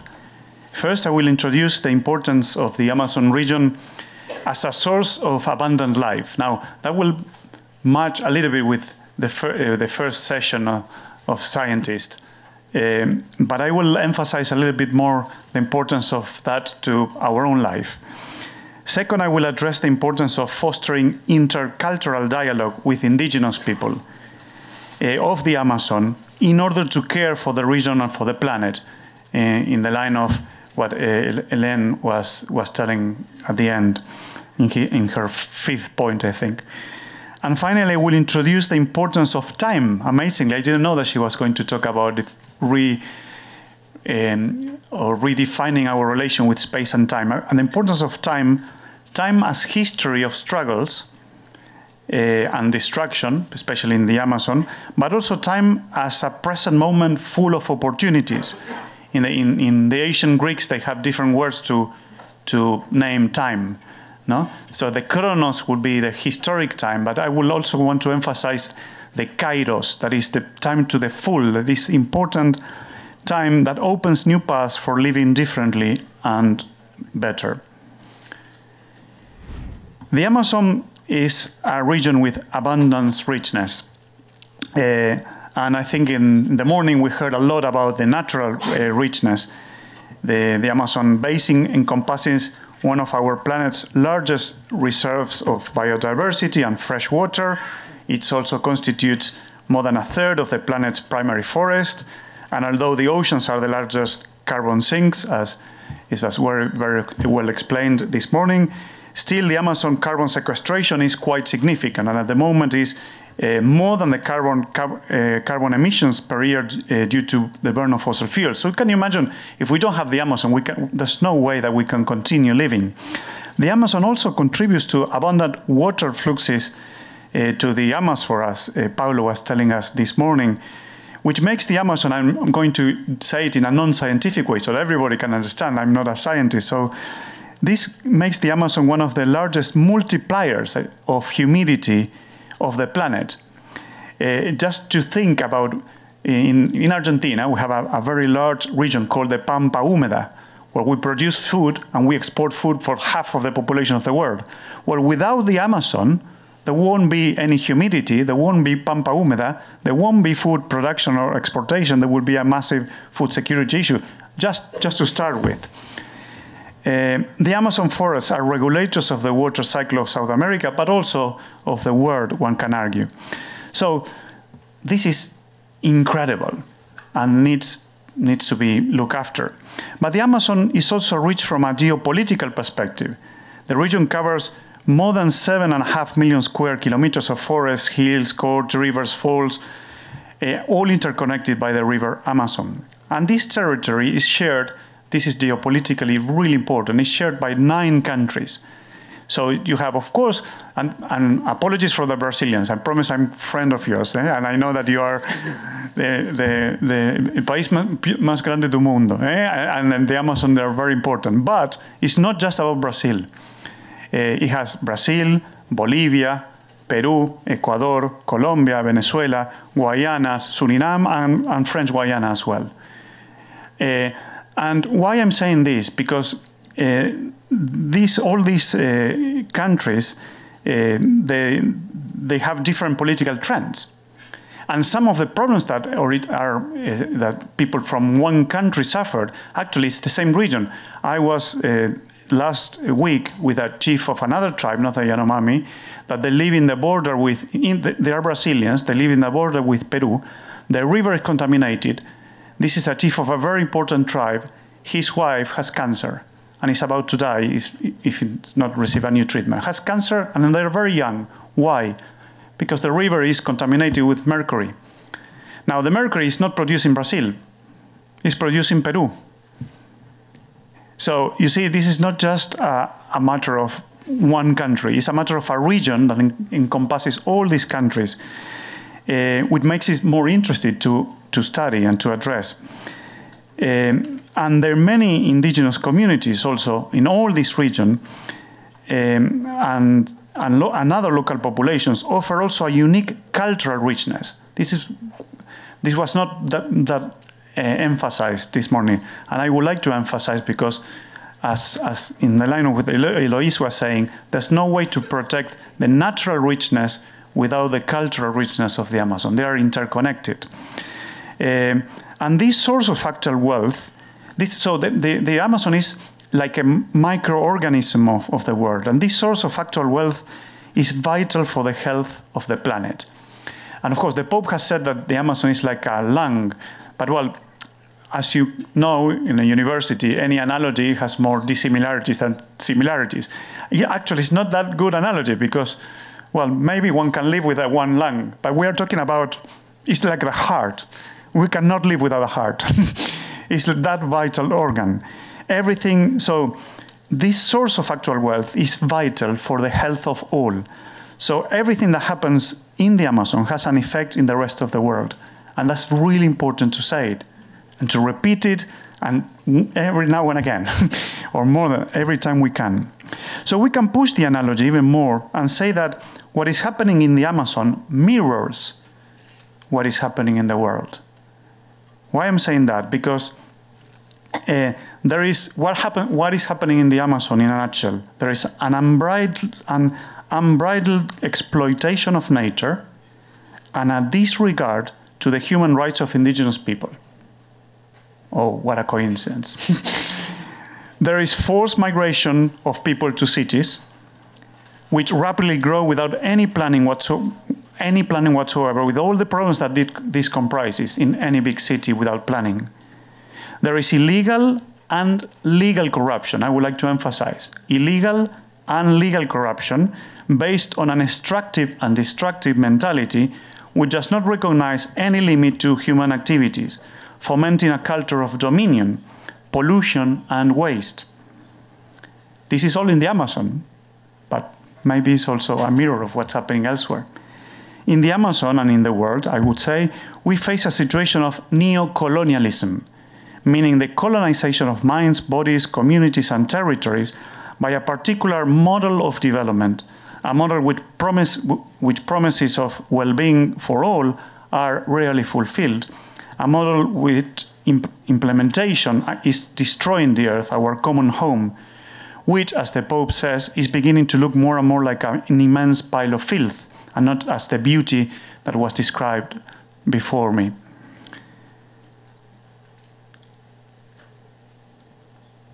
if the Amazon and its multiple richness, geopolitical, cultural, you name it, is key for the life and the future of the entire planet, I would say it is suicidal to continue destroying it, isn't it?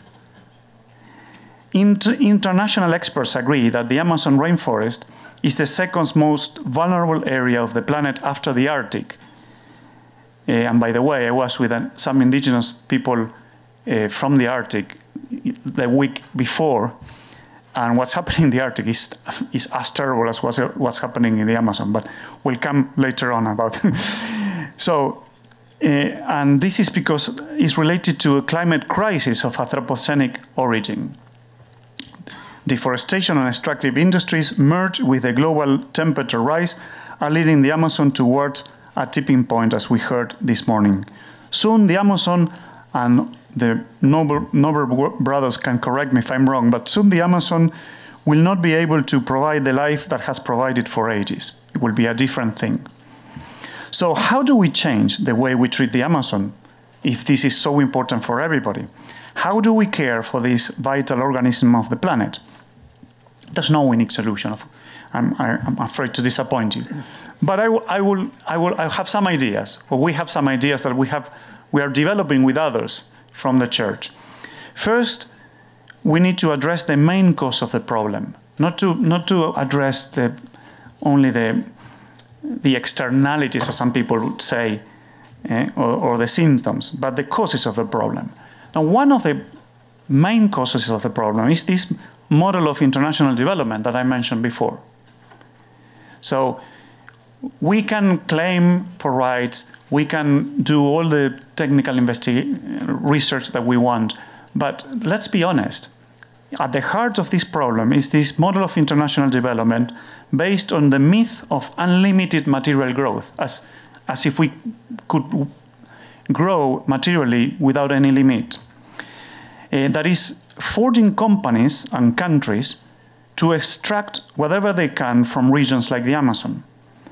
And they do so in order to feed a culture of consumerism and waste that is turning the planet into a giant landfill.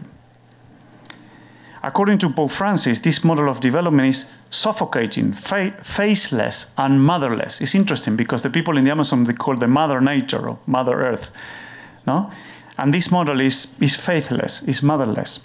We need to replace it, therefore, for a model of development that enhances concrete human beings and communities, and that recognizes our special relationship and dependence with nature, as previous speaker was saying, or as many religious and spiritual traditions like to call it, with Mother Earth. In the Pope's word, the defense of the earth, actually, the defense of the Amazon, has no other purpose than the defense of life, of our, of, of our family, uh, of human beings that we live in a common home. But the shift of the current extractive and destructive development model is not easy. It's very easy to blame companies, but actually companies they produce and to make money. It's very easy to blame the governments, but actually the governments they need revenues to sustain their own policies. Um, as um, the, the, the, it was very well explained, how can governments try to practically, practically tackle this, this issue? But actually, the, if we want to really shift the model, we cannot blame each other. We need everybody has to change. Some more than others, but everybody has to change. It requires a profound global dialogue in search of certain consensus for processes of change. And process, I mean in process because we, we have to be in a process of change. It's not say, now I'm changing, now I have changed. This is something that we know in religion is called conversion. We cannot say, I cannot say, I'm a converted priest, I'm a, I'm a holy now. No, that's, don't believe to anybody if, who says that. Eh? I, need to, I, I need to run a process of conversion every day. The same with us in this model of development, because it requires a change in economics and politics, in education, in our own lifestyles. And such a, such a radical transformation needs a strong motivation. Now, I like, Marina mentioned uh, motivation uh, this morning, because, and I want to emphasize that. If I have to change my computer, well, uh, I don't need that strong motivation. You just give me some data, this is better, and I will change it. But if you ask me, well, you stop being a priest, or move from Rome to Zimbabwe, or to Sri Lanka, or stop being a Christian and become, become a Buddhist. Well, if I have to do that, I, that will require a strong motivation, don't you think? Well, we are talking about even a more radical transformation in economics and politics. And therefore, that's really important to talk about the motivations for change. Scientists have been the prophets of this process. They have, you have been talking since, since the 70s, really, I mean, crystal, crystal clear. We, and we are still having politicians, presidents of big countries, even bigger than Brazil, that's, they're saying, I don't believe in climate change, as if it was something to believe uh, we, we, are still having companies that are exploiting without taking care of the damage that they're causing. So what happens that scientists can, could not cap capture the imagination of people to change? Well, we need scientists as the prophets. Just keep on with a good prophecy. But we need further motivations. Now, people won't change also because academics say it, um, social, science, social scientists, I would say, oh, how interesting, but we will debate. But not necessarily we will change that dramatically. 80% of the population in the world they claim to be religious or to believe in something. And psychological studies are very clear that the source of deep transformation and motivation uh, comes from what people believe and what their values. So this is something that indigenous communities and their values, religions and their values can contribute to this motivation for change. Uh, I know that religions too often are the source of conflict, but they could also be the source of this motivation for a better world. Most religious religions advocate for the caring of people and all what God has created. Recovering or emphasizing that spiritual source of change can contribute substantially to commonly designed models that can actually promote integral human development, means development for all the person and for all, and integral ecology for all the earth, for all the ecosystems. And given that the Amazon is a vital region of the life of the world, and considering that indigenous people who have been inhabiting that land for centuries know how to live in harmony with it, as eh, eh, Eliane talked us also about, their wisdom cannot be left out. I am so, so honored to share this conference with uh, Davi. I am, their wisdom cannot be left out. On the contrary, as the Pope, as Pope Francis emphasizes, they need to be privileged interlocutors of this dialogue of redesigning development. Privileged interlocutors. We are not talking about, uh, let's talk about with Davi how to care for, for, for this little land uh, this little region of the Amazon. No, no, no. In privileged interlocutors, how could we redesign the whole model of development? Because they have a circular mentality of development that, they, that we need. We need to learn from them. Indigenous people also remind us about the sacredness of the land, which is not, near, not merely a natural resource. I have to say I hate the word natural resource or human resource. We're not just resources. The land is not our resource uh, we, we cannot live without land. So it's not just a resource uh, or a commodity, but rather a source of life and a gift of God uh, for those who are believers. But even if you don't believe in God, we, we belong to the land. Uh, we are part of the land, of the earth, and our own human identity is linked to it. Our identity is linked to the land. A serious interaction with indigenous cultures from the Amazon, therefore, is necessary to help us to recover that sense of earthliness. We are people from the earth, and we are going back to the earth when we will die, and to find new ways of caring for the territory, thus for all the planet. And, uh, and I will go very, very quickly to this about the sense of history. The occupation, I have to say something about the history of the Amazon. The occupation and colonization of indigenous lands in Latin America was an extensive process of domination conducted by Spanish and Portuguese colonizers, which was full of contradictions. Uh, they were accompanied by church ministers, for example, and created deep wounds. Deep wounds. St. John Paul II begged forgiveness for the church's silence or even complicit attitudes at the beginning of this century. But hold on a minute, before you say, yes, the church has the, is guilty, today, unfortunately, 500 years after the conquest and 200 years after the independence of the Amazonian countries, analogous colonizing attitudes still exist. These new forms of colonialism conceive Amazonian territories as free lands to be exploited, regardless of the population, regardless of the harm inflicted to the ecosystem. For Pope Francis, indigenous population in the Amazon basin have never been as threatened as they uh, as, as, uh, as, as, as, this, as they are today. And that's why I haven't heard any ap apology, for example, from the rubber company, from the atrocities that they did in the, the, in the early 20th centuries. That had nothing to do with the church and with Spanish colonizer. It was about the rubber industry to feed basically not the Europe and North Americans' uh, lifestyles. But why is this historical time important? Not just because of the negative side of the crisis, but also because the crisis is as a, a unique opportunity to change the way we treat the Amazon, hence the way we shape the future of our planet. What the world can do is not just to claim for the respect of the rights, of the rights of indigenous people that they have, but to listen to them. We, can, we have to listen to them, particularly in order to change the extractive development model and to ideate a caring model which can promote good life for them and for the rest of the world too, in solidarity with one another, overcoming individualism, the personal individualism and collective individualism. Yet this change, as I said before, uh, requires personal conversion from the way we live in countries that are benefited for the exploitation of the Amazon. I have to say that. I know that is uncomfortable. But we cannot have a conference of the Amazon without identifying that we are bene beneficiaries from the exploitation of that territory. So we have to change something as well. The change needed is a change of heart, mentality, and of structures. Of heart, because it's about the way we relate to the ecosystem that sustain life on Earth and to our brothers and sisters who protect it.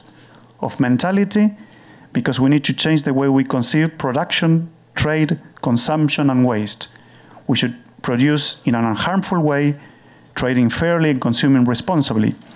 Yet we also need to change the structures that prevent us from doing so. That means the current development status quo that is leading us to destruction. And I'm, my last, last words is learning from indigenous people from the Amazon will help us to walk through these changes that we need. We will re rediscover our bond with the earth, with the land, and, with, and how our model of human development cannot be detached from it. It's, it's just insane to conceive a human model of development detached with the land. It will help us also to listen to them. It will help us to promote actually circular economy, an economy with no waste, where life is boosted rather than crushed.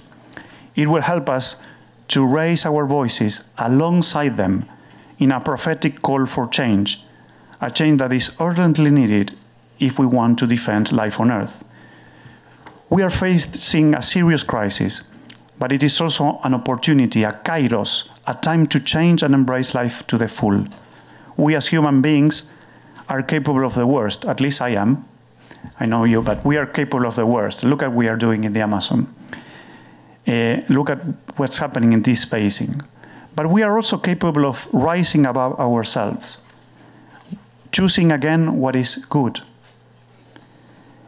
we are capable of making a new start.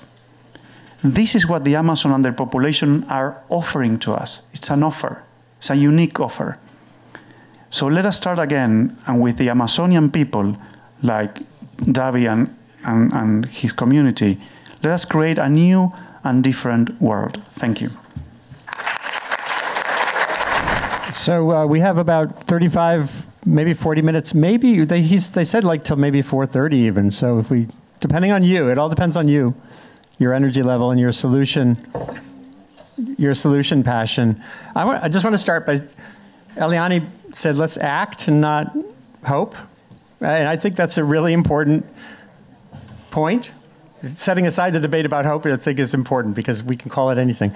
But acting, and you mentioned um, one of your points was uh, moving from the having the periphery become the center again, meaning if you're in a favela or in, a, in, in the Amazon, how do you become empowered again? And I, this still leads me back. I'm a communicator. It leads me back to the tools we have around us right now, the social media. There are ways for the uh, underprivileged, the invisible among us, to actually implement change. This happened in Flint, Michigan, a very poor community, lead in the water. The press ignored them. Local officials ignored them. The EPA ignored them, and they found a solution. So maybe start with Eliane. What would, what's, the, what's the action? What are some of the actions you might want to have people jump to right now? I'm not. Uh, I don't feel safe about my English to to tell um, the, uh, no about okay. delicate things. Then, or maybe you could translate. Bruno, I wasn't paying attention no, no. Uh, so let me, let me sit uh, between them two. Yeah, yeah, yeah. Así que cambian ustedes.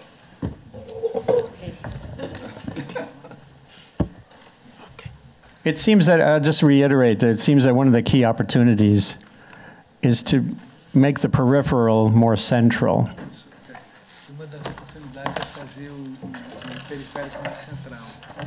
Whether the goal is political change or just getting a solution on, you know, to an environmental problem or, yeah.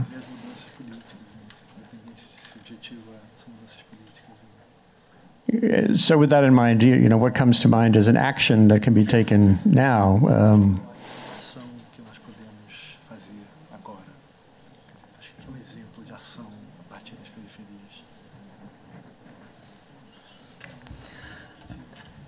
Eu, eu começo a pensar nisso porque uh, no Brasil, claramente, a gente tem uma barreira entre o que são periferias, mas que na verdade são centros, que é como eu mencionava, né, a questão da tem, coisas uh, importantíssimas acontecendo nas favelas urbanas das cidades e tem coisas importantíssimas uh, acontecendo na, nas florestas, na floresta, em outros biomas como cerrado, etc.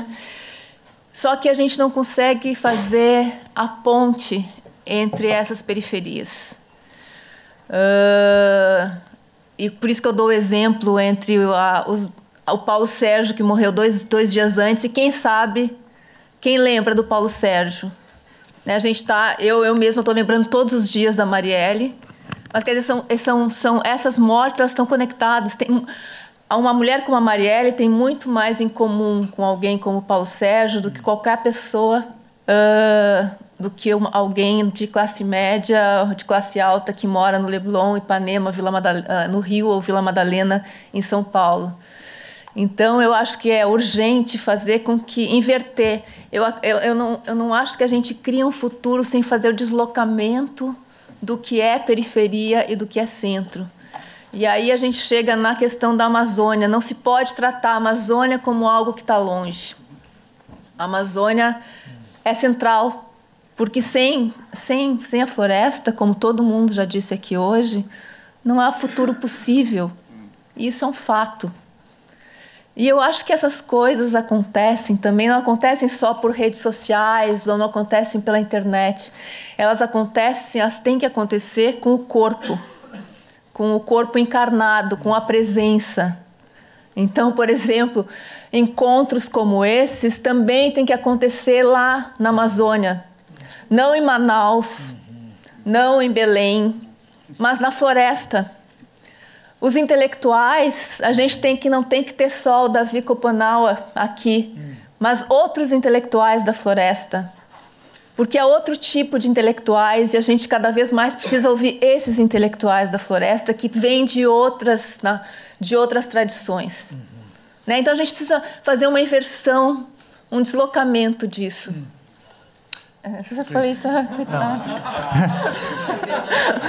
I'll, I'll, do my best. Um, so, oh, you guys got that? Yeah. I was writing that seriously.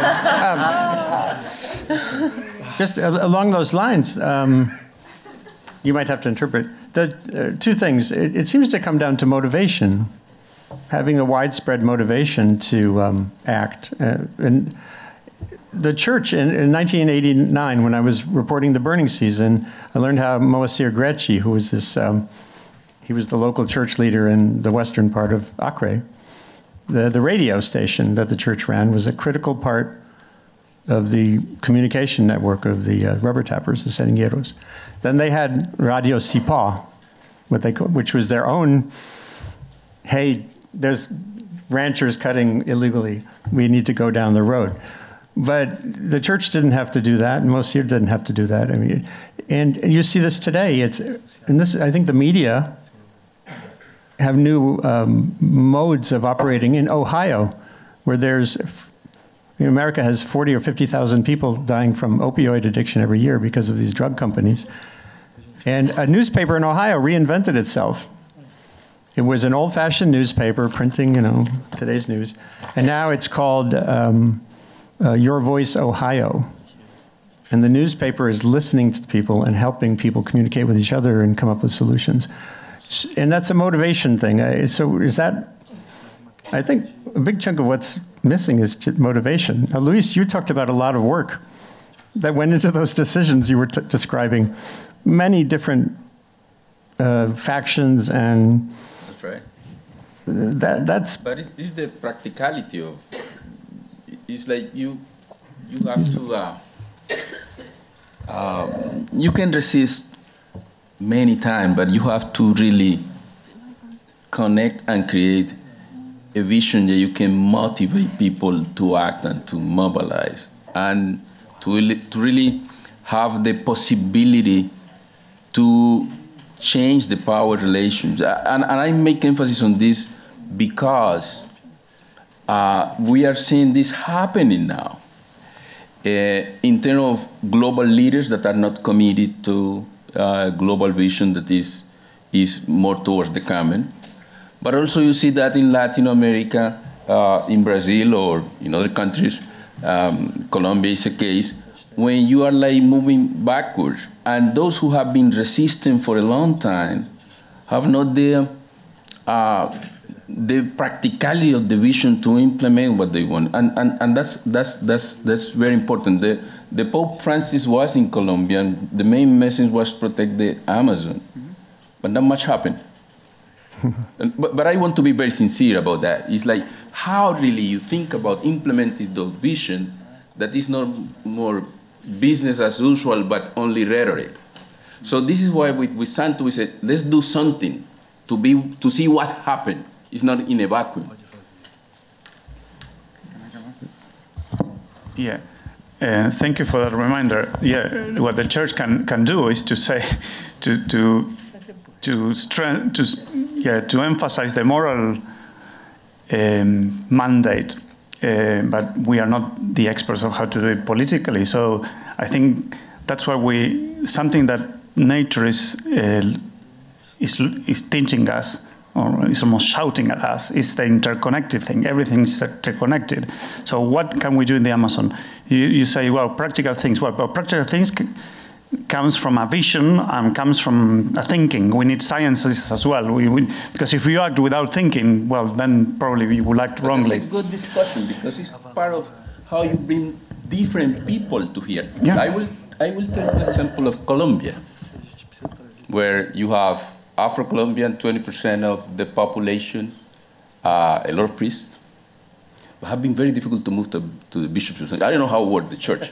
but it's like you see that, and you want to have diverse voices in those spaces of power that comes from ethical questions that the church does, but also from political questions, more from the pragmatism.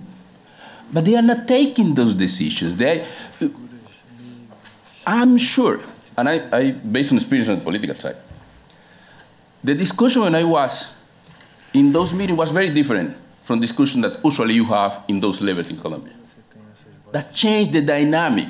It's like how you permeate the system power to move toward a different vision, and also how you create new ones that come from the favelas, from the forest, from people that are resisting but don't, don't find the way to get there because you ask them, but they are not on the table participating. So that's what I'm thinking about. And it's, I don't have any answer to that. It's, it's just experiential what I have learned, I have seen. And it's also part of my own frustration. Yeah. And, and David, I would love to know if um, you can, if you had a call to action, specific need that someone like National Geographic Society or this university can help you with, not because you have priceless knowledge, but because you have a right to be where you are in the world? What would that be?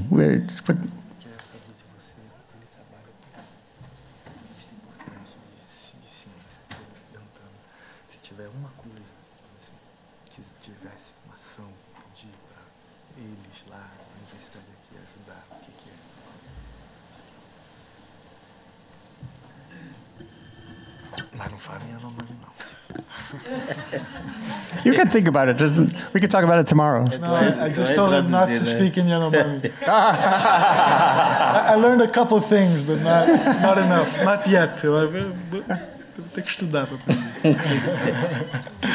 é... Bem,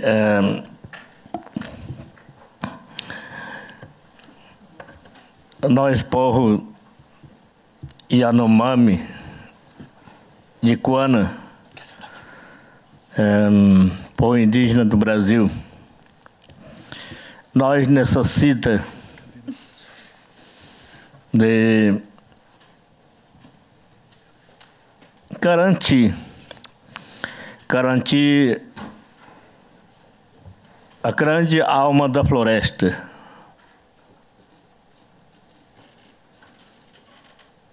Não é só floresta. A terra também. A terra é fundamental. Sem a terra, sem a floresta, sem o água limpo, não tem vida. Acho que é importante vocês, nós, homens, as mulheres, pensar, pensar e respirar. E como os, é, a sociedade não indígena discutindo sobre a defesa da planeta Terra, que quer realmente decidir e colocar a reunião, grande reunião, e juntar a autoridade. Corrida a autoridade da, da destruindo. Nós, pessoa aqui, ninguém está destruindo, não. Quem está destruindo é, tem um poder de dinheiro. O poder de dinheiro está tá com mal cheio de dinheiro. Então aquele é culpado. Eu acho que quer colocar reunião e a consultar as lideranças não indígena que está sempre sempre fica pensando, olhando, querendo mais tirar, querendo mais destruir. E não pensa de nós. Ele só pensa para eles, pensa a sua família, para os filhos.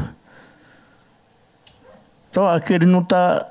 Essa é, autoridade que destruidor ele não está ele não tá preocupado com nós.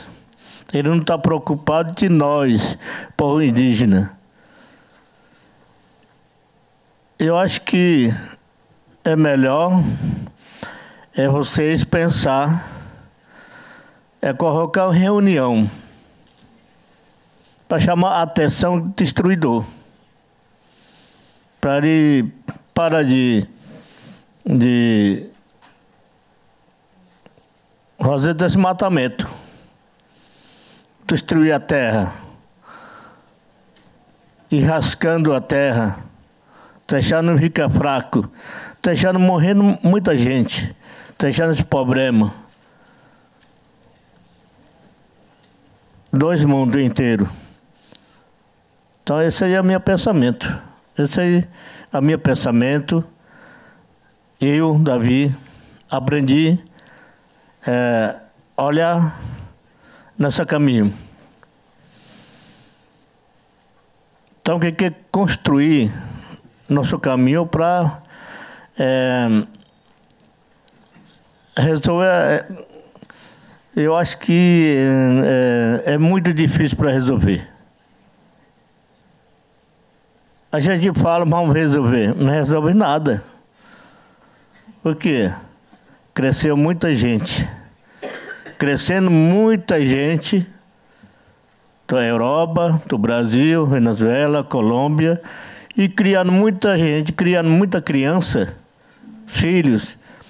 Então, é, mercadoria, o mercadoria da capital, estado,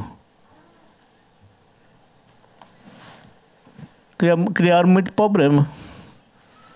A raiz está fundo. O raiz já cresceu há fácil tempo só fica olhando para cima, ninguém, ninguém resolve o que, que nós, que, que mergulhar para ver aonde está ah, precisando nós salvar a nossa coração da terra, mãe. Nós, Yanomami, nós, Yanomami e Equana, indígenas, chama a terra mãe nossa, aonde nós nascemos, aonde nós criamos, aonde nós eh, aprendemos. A terra, ele ensina para a gente conversar, ensina para dançar, ensina para comer, ensina tudo. Então, ali que que é começar a olhar, não no fundo, no fundo, aonde que a, a mãe terra está precisando, nós é, ajudar ele para tentar salvar a planeta Terra, o pulmão da Terra. Sem a pulmão, não tem vida. Todos nós estamos mortos. Eu sou também formado, formado como Xabire espiritualmente, que eu aprendi com meus, essa liderança, ensinou nesse caminho para defender a nossa mãe terra, a nossos irmãos, a nossa irmã, a floresta, para a gente viver bem. Viver bem com saúde, viver bem tranquilo, como estava antigamente. Agora está tá muito grande para resolver. Oi? Obrigado. Um, there is there, there are organizations that work really hard with indigenous peoples in Brazil. Um, the Instituto Socioambiental. I was at the offices in December, and they're kind of like a nervous system for the Amazon. They're helping to connect tribes with each other and with the outside world. So you can also think about donating to these organizations that help people be people. That's an important part of the journey forward. Some questions on the audience. Um, try to keep them brief, and we'll keep this going. Uh, right here. Hil- Um, Hira- I'm trying to remember your first name. Marina. Marina. Marina Hiroto. Thank you. Um, shall I speak in English or in Portuguese? Portuguese. Por- Português. Yeah. A minha pergunta é mais uma curiosidade, na verdade, porque a gente estava falando de manhã sobre, e, e a gente está falando ainda, né, sobre a possibilidade de encontrar uma forma de uma nova visão para o futuro. E eu acredito que isso está muito nas crianças e nas lideranças eh, adolescentes, enfim, nas, nas pessoas mais novas e nas mais velhas. Enfim, mas com relação às mais novas, eu queria saber, talvez, de todos vocês, dentro daquilo que vocês fazem, é, qual é a experiência que vocês têm com crianças? Então, eu já ouvi muitas coisas sobre os indígenas, mas eu gostaria de saber um pouco mais em como as crianças são criadas e qual é a motivação que é dada, que é dada para elas, por exemplo, para elas ficarem na floresta, para elas cuidarem da floresta, porque isso pode ser um exemplo do que a gente pode fazer com as nossas crianças, né? Que talvez a gente ensine de uma forma muito diferente. A gente ensine que outras coisas são têm valor é, e não essas de da natureza e etc. Então, talvez na Colômbia e nas expedições que a Elaine participou. E com relação à Igreja Católica, como vocês veem essas jovens lideranças e como isso é tratado? Porque eu acho que podem ser lições para nós, né, de uma forma geral.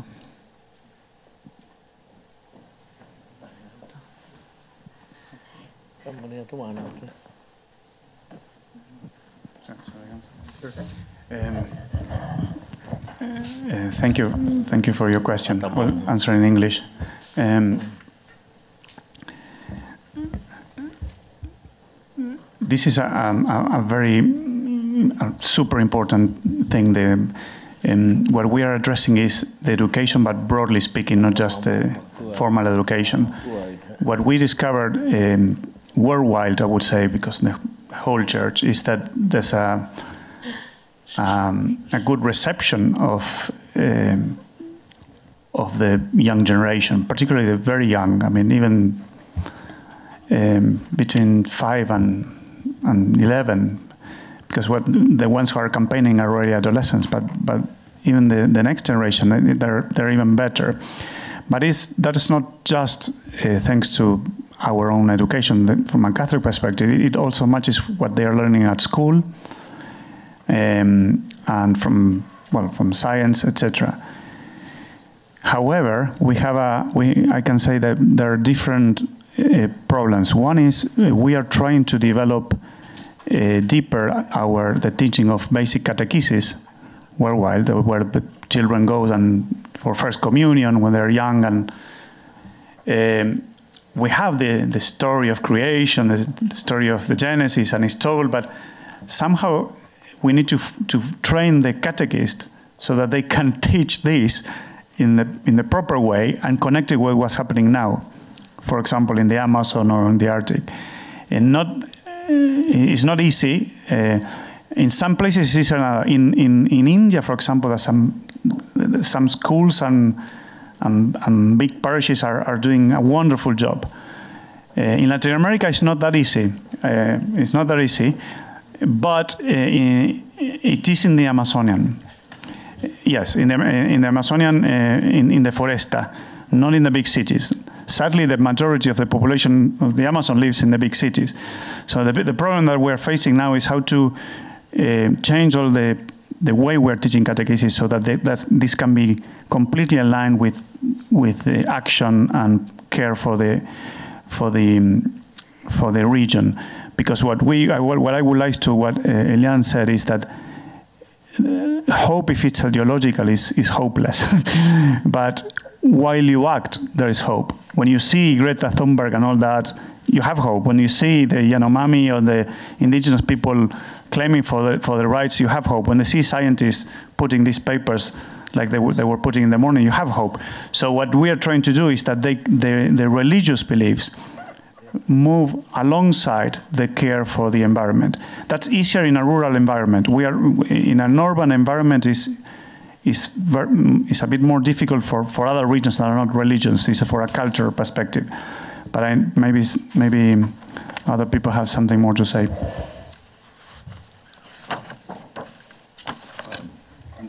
Just, just saying, in terms of what motiv motivate, um, I see a lot of seeds for uh, different futures.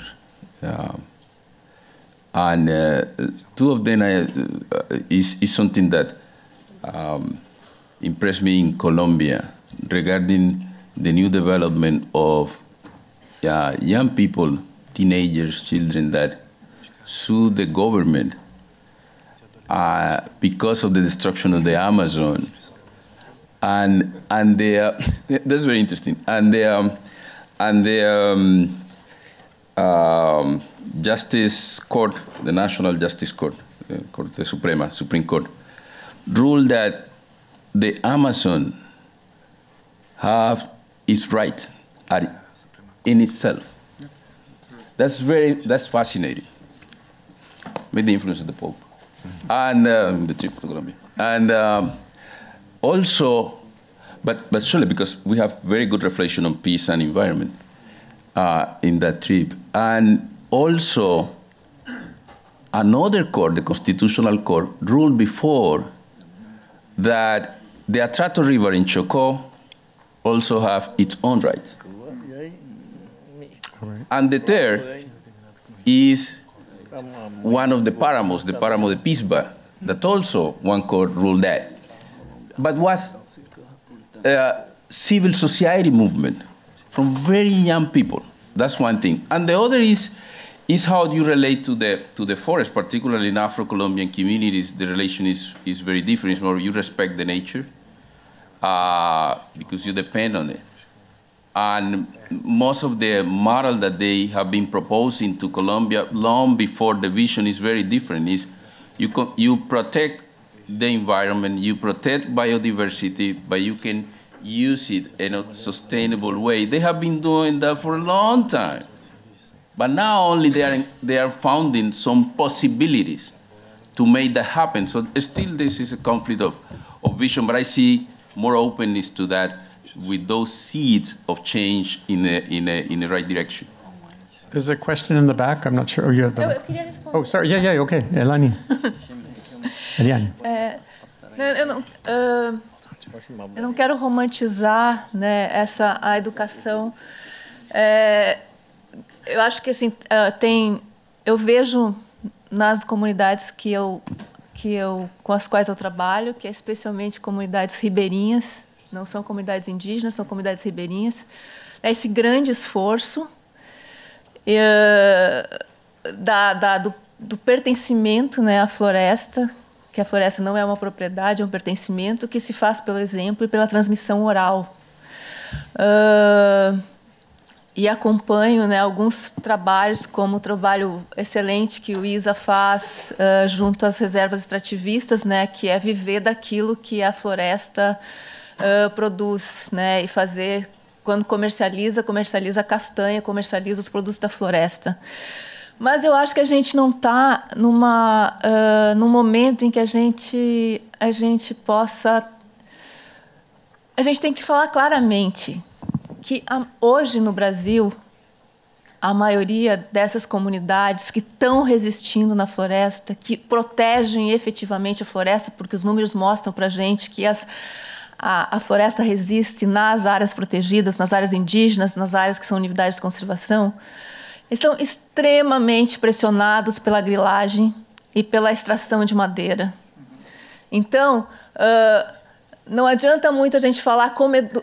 claro que como educa é importante, mas se não tiver o apoio uh, do planeta, se não tiver o apoio desses países, né? Agora há pouco tempo, semana passada, mais de 600 cientistas assinaram um documento pedindo que a Europa pare de importar desmatamento. Quer dizer, não, não adianta uh, a gente, se nós a gente não apoiar essas comunidades e apoiar concretamente, é muito difícil. Os grileiros estão lá agora nas unidades de conservação, nas terras indígenas, tirando madeira. Se esses ribeirinhos que tanto resistindo há, há mais de um século em cima da floresta, eles são às vezes obrigados a colaborar porque senão eles morrem. Porque como a gente sabe, o sistema de proteção do Brasil foi todo desmantelado. Eles não têm proteção. Então a gente está num ponto de emergência, né? E, e é, eu gosto muito de acompanhar a estética que as coisas acontecem. Por exemplo, que hoje a, a maior parte das lideranças uh, na floresta, nas comunidades ribeirinhas e também nas periferias urbanas são mulheres. E quando as mulheres. Uh, uh, e eu tento me inspirar um pouco nelas quando eu falo, porque eu não. É, quando as mulheres falam, é assim, é, sabe, não é conversa de salão. Assim a gente vai. A gente está ferrado não dá para conversar como se o que tivesse acontecendo no Brasil fosse normal. Não é normal. Né? A gente não está a gente está vivendo um cotidiano de exceção. E lá na floresta agora está cheio de madeireiro tirando terra e às vezes tirando terra com a ajuda de famílias ribeirinhas, porque se elas não, não, não fizerem isso, elas são assassinadas. Né? Então é, de, é com isso que a gente está lidando.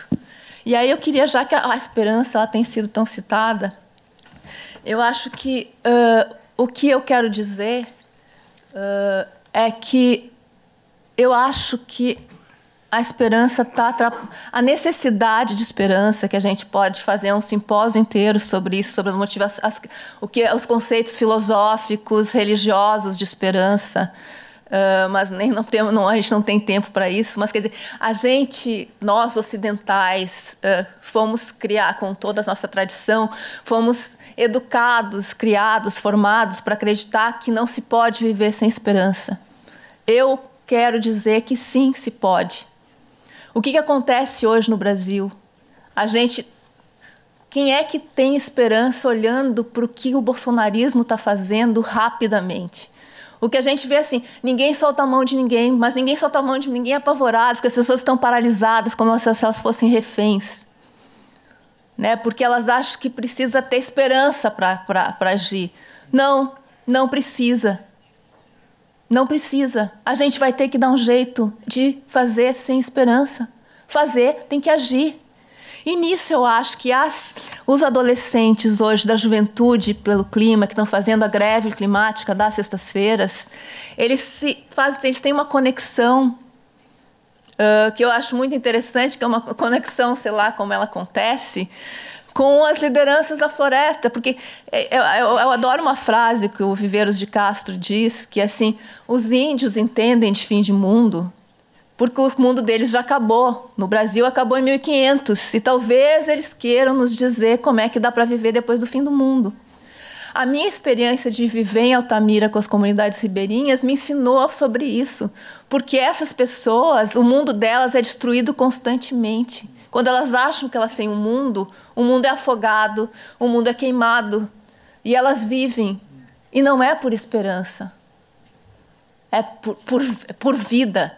Então, assim, eu acho que, que, que eu, eu, vejo essa conexão, que nem quando eu falo, quando eu entrevisto as, as meninas, os meninos do clima, mas eu entrevistei meninas, é, eu não tenho esperança, mas elas estão ali, na rua, com alegria. O que eu quero dizer é que no momento de uma crise em que a gente nunca viveu igual, que é quando a gente se, se transforma, se converte na própria ameaça, quando a gente chega nesse ponto, tem uma, um outro humano que está se formando. Tem um outro jeito de ser humano. A gente está num além, em algo que a gente nunca viveu. Então, aquelas coisas que que sempre foram constitutivas da gente, elas estão em questionamento. E a esperança é uma delas. Não tenho nada contra a esperança, mas assim, não fica esperando esperança. A gente tem que agir.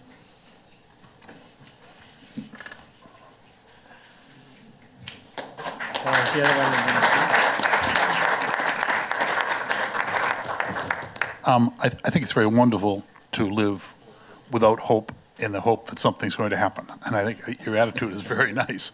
But and you also have other options. You've talked about hope. You've also mentioned doing something at a university to raise attention, which is absolutely marvelous, as are non-governmental organizations. But I haven't heard any mention yet of the Inter-American Commission on Human Rights or the Inter-American Court of Human Rights, which right now, even including the case of Altamira, they have actually taken cases involving indigenous peoples, lands, environment. I've been involved in three of them myself. Uh, they don't, they are not the answer. They have to be combined with a lot of publicity and a lot lot of NGO help, but they can be very successful, and they've made a major change in indigenous territory. Um, Awas Tingni, which I'm sure that he knows, uh, redefined property.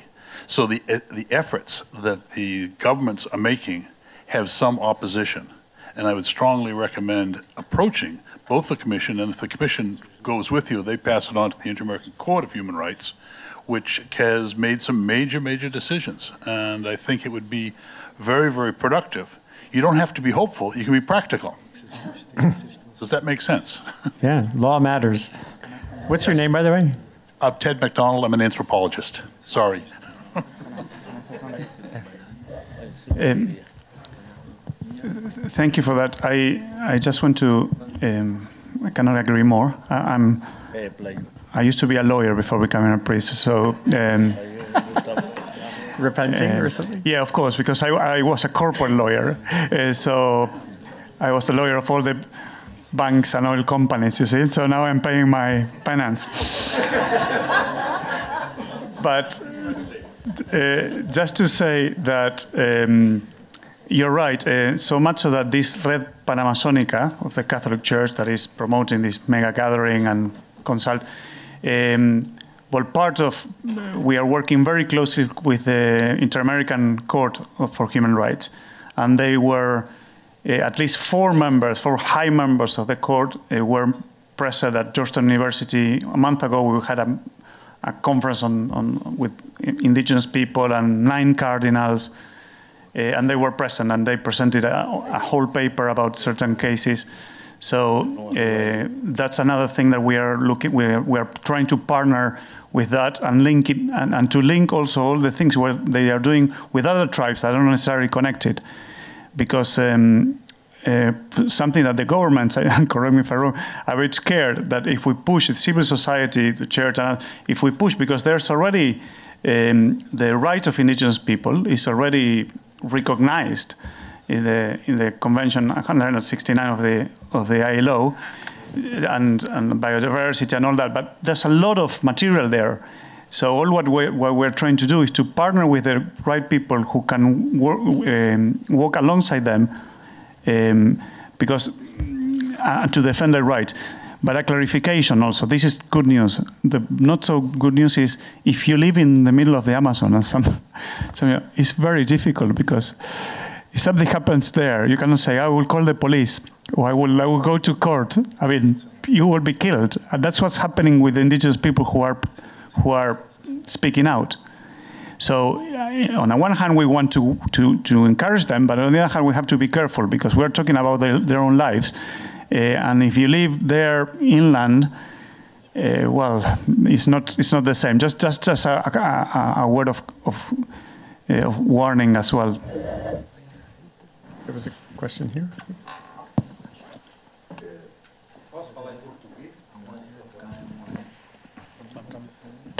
I need to speak in Portuguese because I am passionate, and, and when I am passionate, I need to use my own language. And uh, it's the discussion about hope. I can't live without hope. And this doesn't mean, uh, em português ou em inglês? Não, é que, eu, é que eu acho o seguinte, quer dizer, para mim, eu tenho, eu ajudei a criar um programa uh, 25 anos atrás para melhorar a qualidade de educação pública no Brasil. O nome desse programa, eu só estou trazendo isso, não estou fazendo propaganda, só estou dizendo que o nome desse programa chama-se Crer para Ver. É a inversão do, né, do ver para crer. Quer dizer, se a gente não acredita, se a gente não. E acreditar e ter esperança é mais ou menos similar, que é possível mudar, a gente cruza os braços, vai olhar a folha de coqueiro balançar e esperar que as coisas aconteçam. É, Para mim, a esperança é fundamental. Eu sou basicamente a minha história de vida de um homem de ação.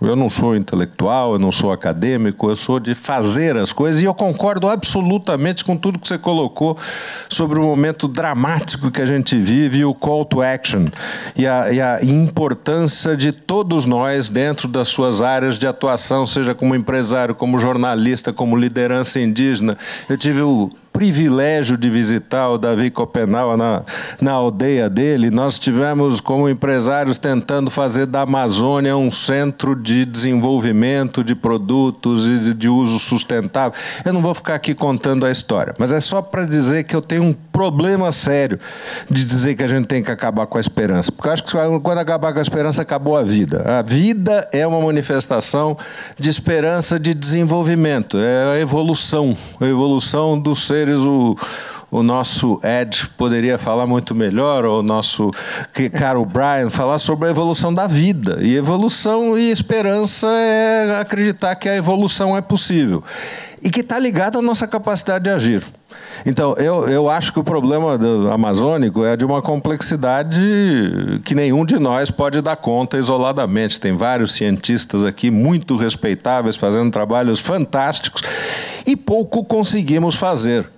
Temos uma democracia ah, que elegeu um presidente que é uma frustração para todos nós. Eu assino embaixo com você. Aliás, já assinei publicamente alguns manifestos antes da eleição, dizendo que eu achava perigosa a sua eleição. Mas o povo brasileiro elegeu e votou. Votou, votou e elegeu.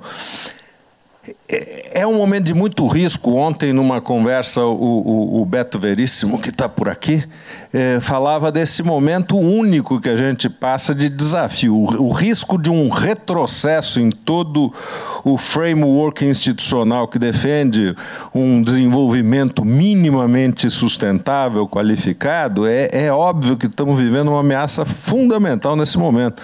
Agora, não pode perder a esperança o, o Bolsonaro vai passar. O Trump vai passar se a gente for capaz de agir, se a gente garantir democracia, se a gente garantir participação social, se a gente melhorar a qualidade dos nossos discursos, se a gente deixar de falar só acadêmico ou só business ou só e falar com a dona Maria que vota no Bolsonaro ou o seu José, é, é, é, eu acho que depende de nós sim. Nesse ponto eu concordo um milhão por cento com você, Eliane, mas por favor. Quer dizer, eu me, me reservo o direito de continuar tendo esperança de que as coisas vão Eu- melhorar se a gente fizer o que tem que ser feito. Eu fico muito Desculpe o feliz. desabafo. Quick response. Eu fico muito feliz que tu tenha esperança. E eu não sou de forma nenhuma uma exterminadora da esperança. Eu sou contra a esperança. Eu só só estou dizendo que ah, a gente pode viver sem esperança. Tu tem uma experiência de vida e a tua experiência de vida dá conta de que tu tem esperança. Ótimo. Agora existem outros grupos de pessoas que não têm esse luxo de ter esperança que tu tem. Pessoas extremamente atingidas por políticas neoliberais, que cujas, cas cujas casas, cujas terras estão queimando. Pessoas que estão morrendo, pessoas que conhecem uma vida de morte. E eu posso testemunhar que mesmo assim elas vivem e elas lutam. E essa também é uma experiência muito sofisticada de viver, que eu acho que a gente está uh, conhecendo com mais profundidade agora. Então, eu acho que que bom que nosso mundo tem uh, diferentes experiências de ver e de ser vivo. E eu espero. eu espero. Oh, agora eu tenho esperança. But this is linguistic. uh, Eu gostaria que tivesse. ah, pode ter um mundo em que todo mundo tem esse luxo o luxo de ter esperança. Mas tu pode ter certeza que muitos, muitos grupos de pessoas não têm o luxo de ter esperança. Mas essas pessoas, elas não são ah, vítimas. Elas têm, elas encontram outras formas de viver. Elas têm alegria. Elas, elas resistem e elas lutam. But their world can change. But their world can change, no? Their world can change. Their conditions can change. Eu não sei. é, é, a gente ouviu. é, o mundo pode mudar, mas assim, que mundo tu está falando? É um mundo que vai aquecer mais do que 2, 2 graus, um mundo que provavelmente vai ter 3 graus, que vai ter. Assim, é, a gente está num ponto em que talvez né, a gente precisa ser um pouco mais. ah, a gente está ferrado, né? Para dizer uma palavra bonita. Então, sabe? Yeah. To, to me, it's a little bit. This is a little bit like trying to define to, to, to define the, the Portuguese word saudade. There's like a thousand definitions of the word saudade. I, so it's like what I love is acting, just as you were saying, act with joy, or just work at it. Bill McKibben, for 30 years, Bill McKibben has been saying, warning, warning, the world's going coming to an end. It's a crisis. Go, go, go. And um, When I talk to young people about Bill McKibben, who I've known since the 80s, I say, listen to him, but also look at his life. He gets up every morning and he works at it. And he's this similar to the person uh, Ribeirinho, you know. He, he's not hopeful or whatever. I don't know what he is deep down. He's partially a preacher, but he gets up, he does the work. He just does, does the work. So I don't think uh, we don't have to have this debate, really. I think it's not a debate. It's just a matter of different perspectives. Um, É, é, Eu só acho assim que o que eu estou querendo dizer é que ah, as pessoas que eu mais testemunho lutarem e resistirem, elas dizem que não têm esperança. Então, lidem com isso. okay. Yeah. And but there, this, is- this is this is like a, one or two a theological question. So yeah, so I'm, I'm fascinating. But uh, so um, the, uh, John Paul II uh, used a phrase that is in Spanish uh, is esperando contra toda esperanza. so it's uh, hoping against uh, all hope. But but what I what I want to support is is the is the fact that for the first time in the history of humankind we are going to have a worse world. Our, our future generations are going to inherit a worse world that they that they that the ones the previous generation received, and this is a fact. And this is what the children are saying. They don't have a hope that things will change. They will be worse, perhaps a lot, I mean, uh, far, far worse or a little bit worse, but they would, they will be worse. And this is something that we'll need to listen. Now, the notion of Christian hope and all other religions is precisely when you are hopeless, when, when, when that's the, when, when you're dead, when nothing is, that's something that you have to take from life, from the life of others, from the life of nature, from the life of your neighbors, to, to, to, do, to act in order to not to say, oh, I cannot do anything, because the, the alternative is to switch off. Because there's no hope, I won't do anything. And we would like also the Harvard Business Schools to change. And we would like uh, investment of uh, big uh, US companies. Some, the gentleman over there was talking about big companies um, well, that could change. Well, I was in Davos early this year. I'm not so sure that they will change. So unless we push really, really hard, uh, they will continue doing business. So I will, I will recover this this the cry of the, of the earth and the cry of the poor, the cry of the young generations and say we don't have hope because we are going to inherit a terrible world. But that doesn't mean that we, they don't have a philosophical or, or, or theological hope. I don't know if that, that helps. But it depends on the, on the, experience of the people. If, if you ask uh, people that experience uh, the shameful institution of slavery, we, we have been taught for generations that you cannot lose hope well, well, it's the way we grew up. Mm-hmm. So, and we have our standing of hope. So, I think there's. we, are, we are like very shy here because we are. discussion is more like. We have come to the end of our time. I know there was a desperate question in the back, but also Davi, I think, has a comment. Um, Eu quero responder para could we, maybe for 30 seconds, because she was so patient, the woman up there, could you just give a very quick, super quick? But I, th I think this is in response to the children question. This will be very quick. No, just, and then we can end with uh, David. It's actually really closely related to the discussion that's happening, but in a slightly different way. I'm, I'm Julie Klinger. I'm a prof professor, geographer at Boston University, and I work with um, Davi Kopenawa's relatives in the community of Maturacá.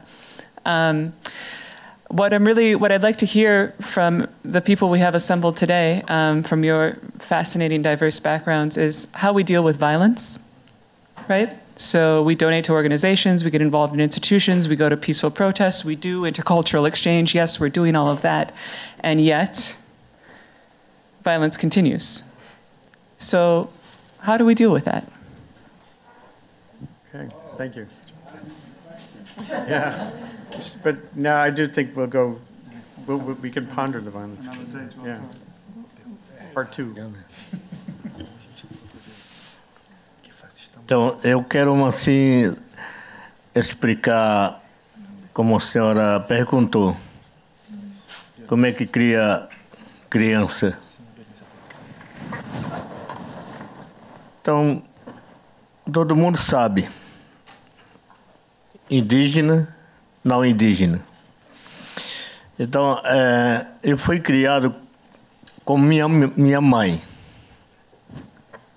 Minha mãe, meu pai. É, foi criado sem aula, sem escola. A nossa escola é diferente.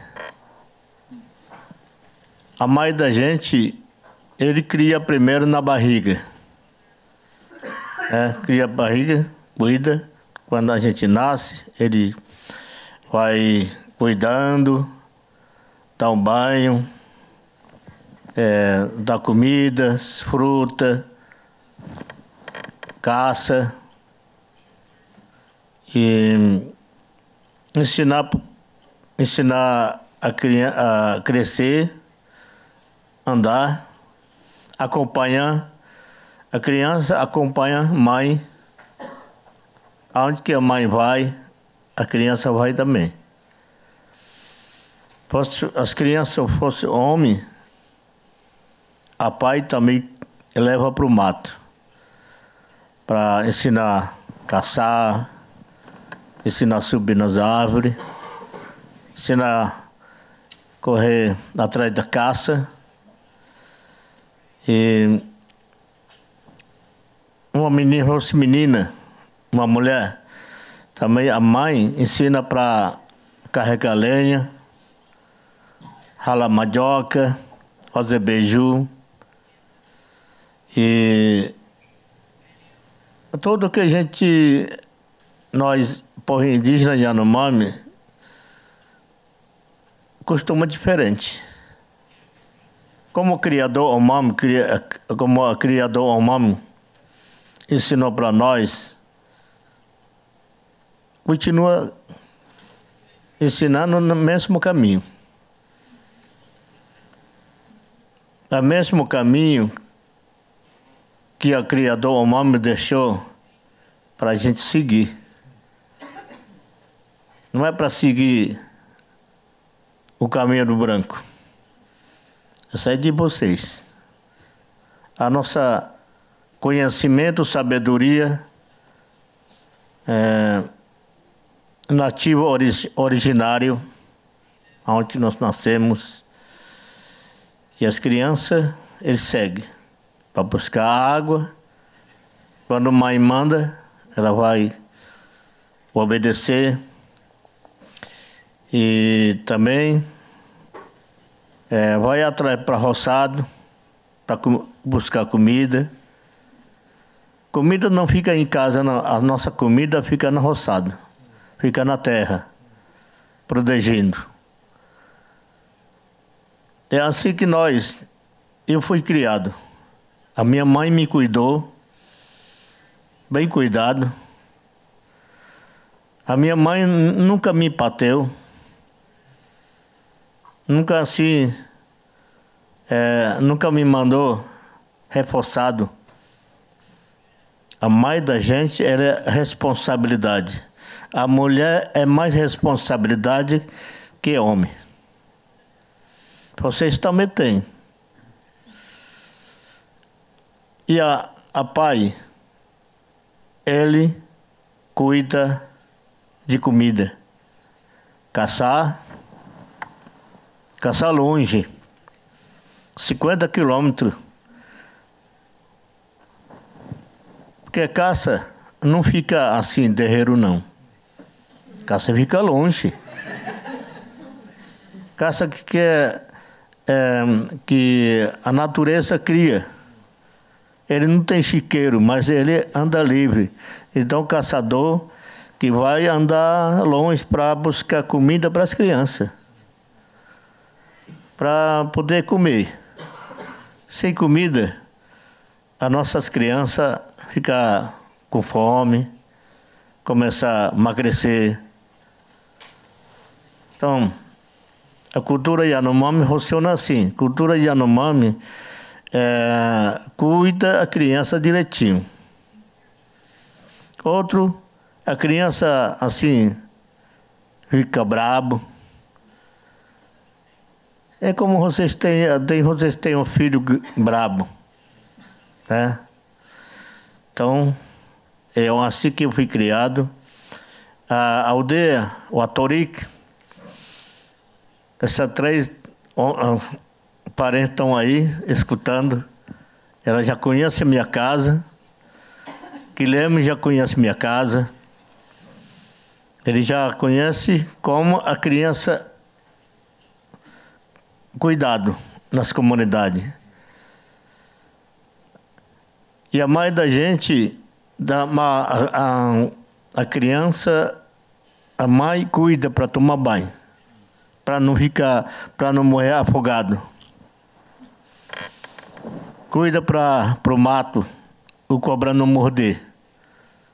A pai leva ele para ensinar a caçar, ensinar a flechar.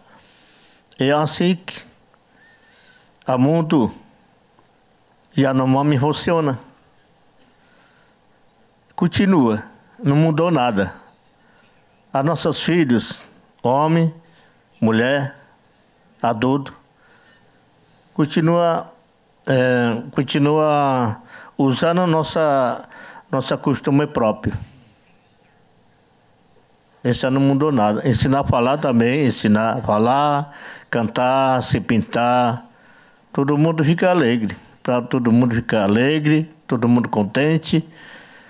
E redor nosso mundo tá tá muito muito ruim para nós. Nós, essa liderança, o pajé, ele é muita responsabilidade. Ele fala para as crianças, para as mulheres, para não ficar preocupado para homem branco está fazendo muito ruim para nós. Tem três países: Brasil, Venezuela, Colômbia, Equador e a Guiana Inglês. Como eu falei, o povo está crescendo, então ele está ele tá cercando de nós. Mas nós somos pouco, continua alegre. Continua alegre. Confia no nosso Criador Omam. O Criador nosso Omam está no nosso lado. É por isso que é, nós estamos enfrentando isso. Então, nossa, a, a felicidade vai, vai continuar como a criou. Não mudou nada. Tá? Então nós estamos só preocupados que é, o capitalista, eles são fome da terra. Eles são fome de tirar mais madeira. Eles são fome de é, cavar buraco como tatu, tirar ouro, diamante, nióbio. Hoje o mundo inteiro os governos alia, aliados do mundo, eles estão de olho grande para tirar niópio na território Yanomami, território indígena. Então, essa é a nossa preocupa. Mas a liderança aldeia fala, não pode ser preocupado não. Eles, a povo da cidade, eles estão mais preocupados porque dívida eles têm também. Homem da cidade, ele está rico, mas ele tem uma preocupação. Ele tem um problema. Problema do país, problema do político. Eles estão. Uh, homem, uh, homem da cidade, ele não tão feliz. Ele não tão contente. E nós, as crianças, territorial Yanomami, mas eles estão felizes, porque a natureza está cuidando. A natureza é forte, não é forte de dinheiro.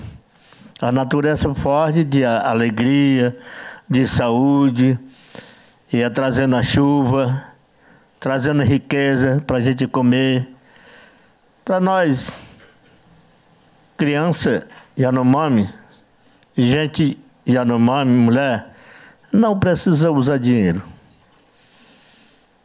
O povo Yanomami viveu sem dinheiro. Agora hoje está. Nós estamos se contaminando. Dinheiro é uma. É uma. É como. Como purga. Você conhece purga? Purga que entra na sua pé fica doendo, depois pano. Então, é, a, a, a dinheiro é uma é, estraga a nosso pensamento. Dinheiro é manipula de nós. Então, a doença está chegando lá. Então, a nossa criança está protegida. É por isso que eu estou aqui. A minha luta não vai parar. Só luta vai parar meu. Quando morrer tudo Yanomami, sobrou um meu filho, aí a luta vai parar. Mas outra geração vai continuar. Oi?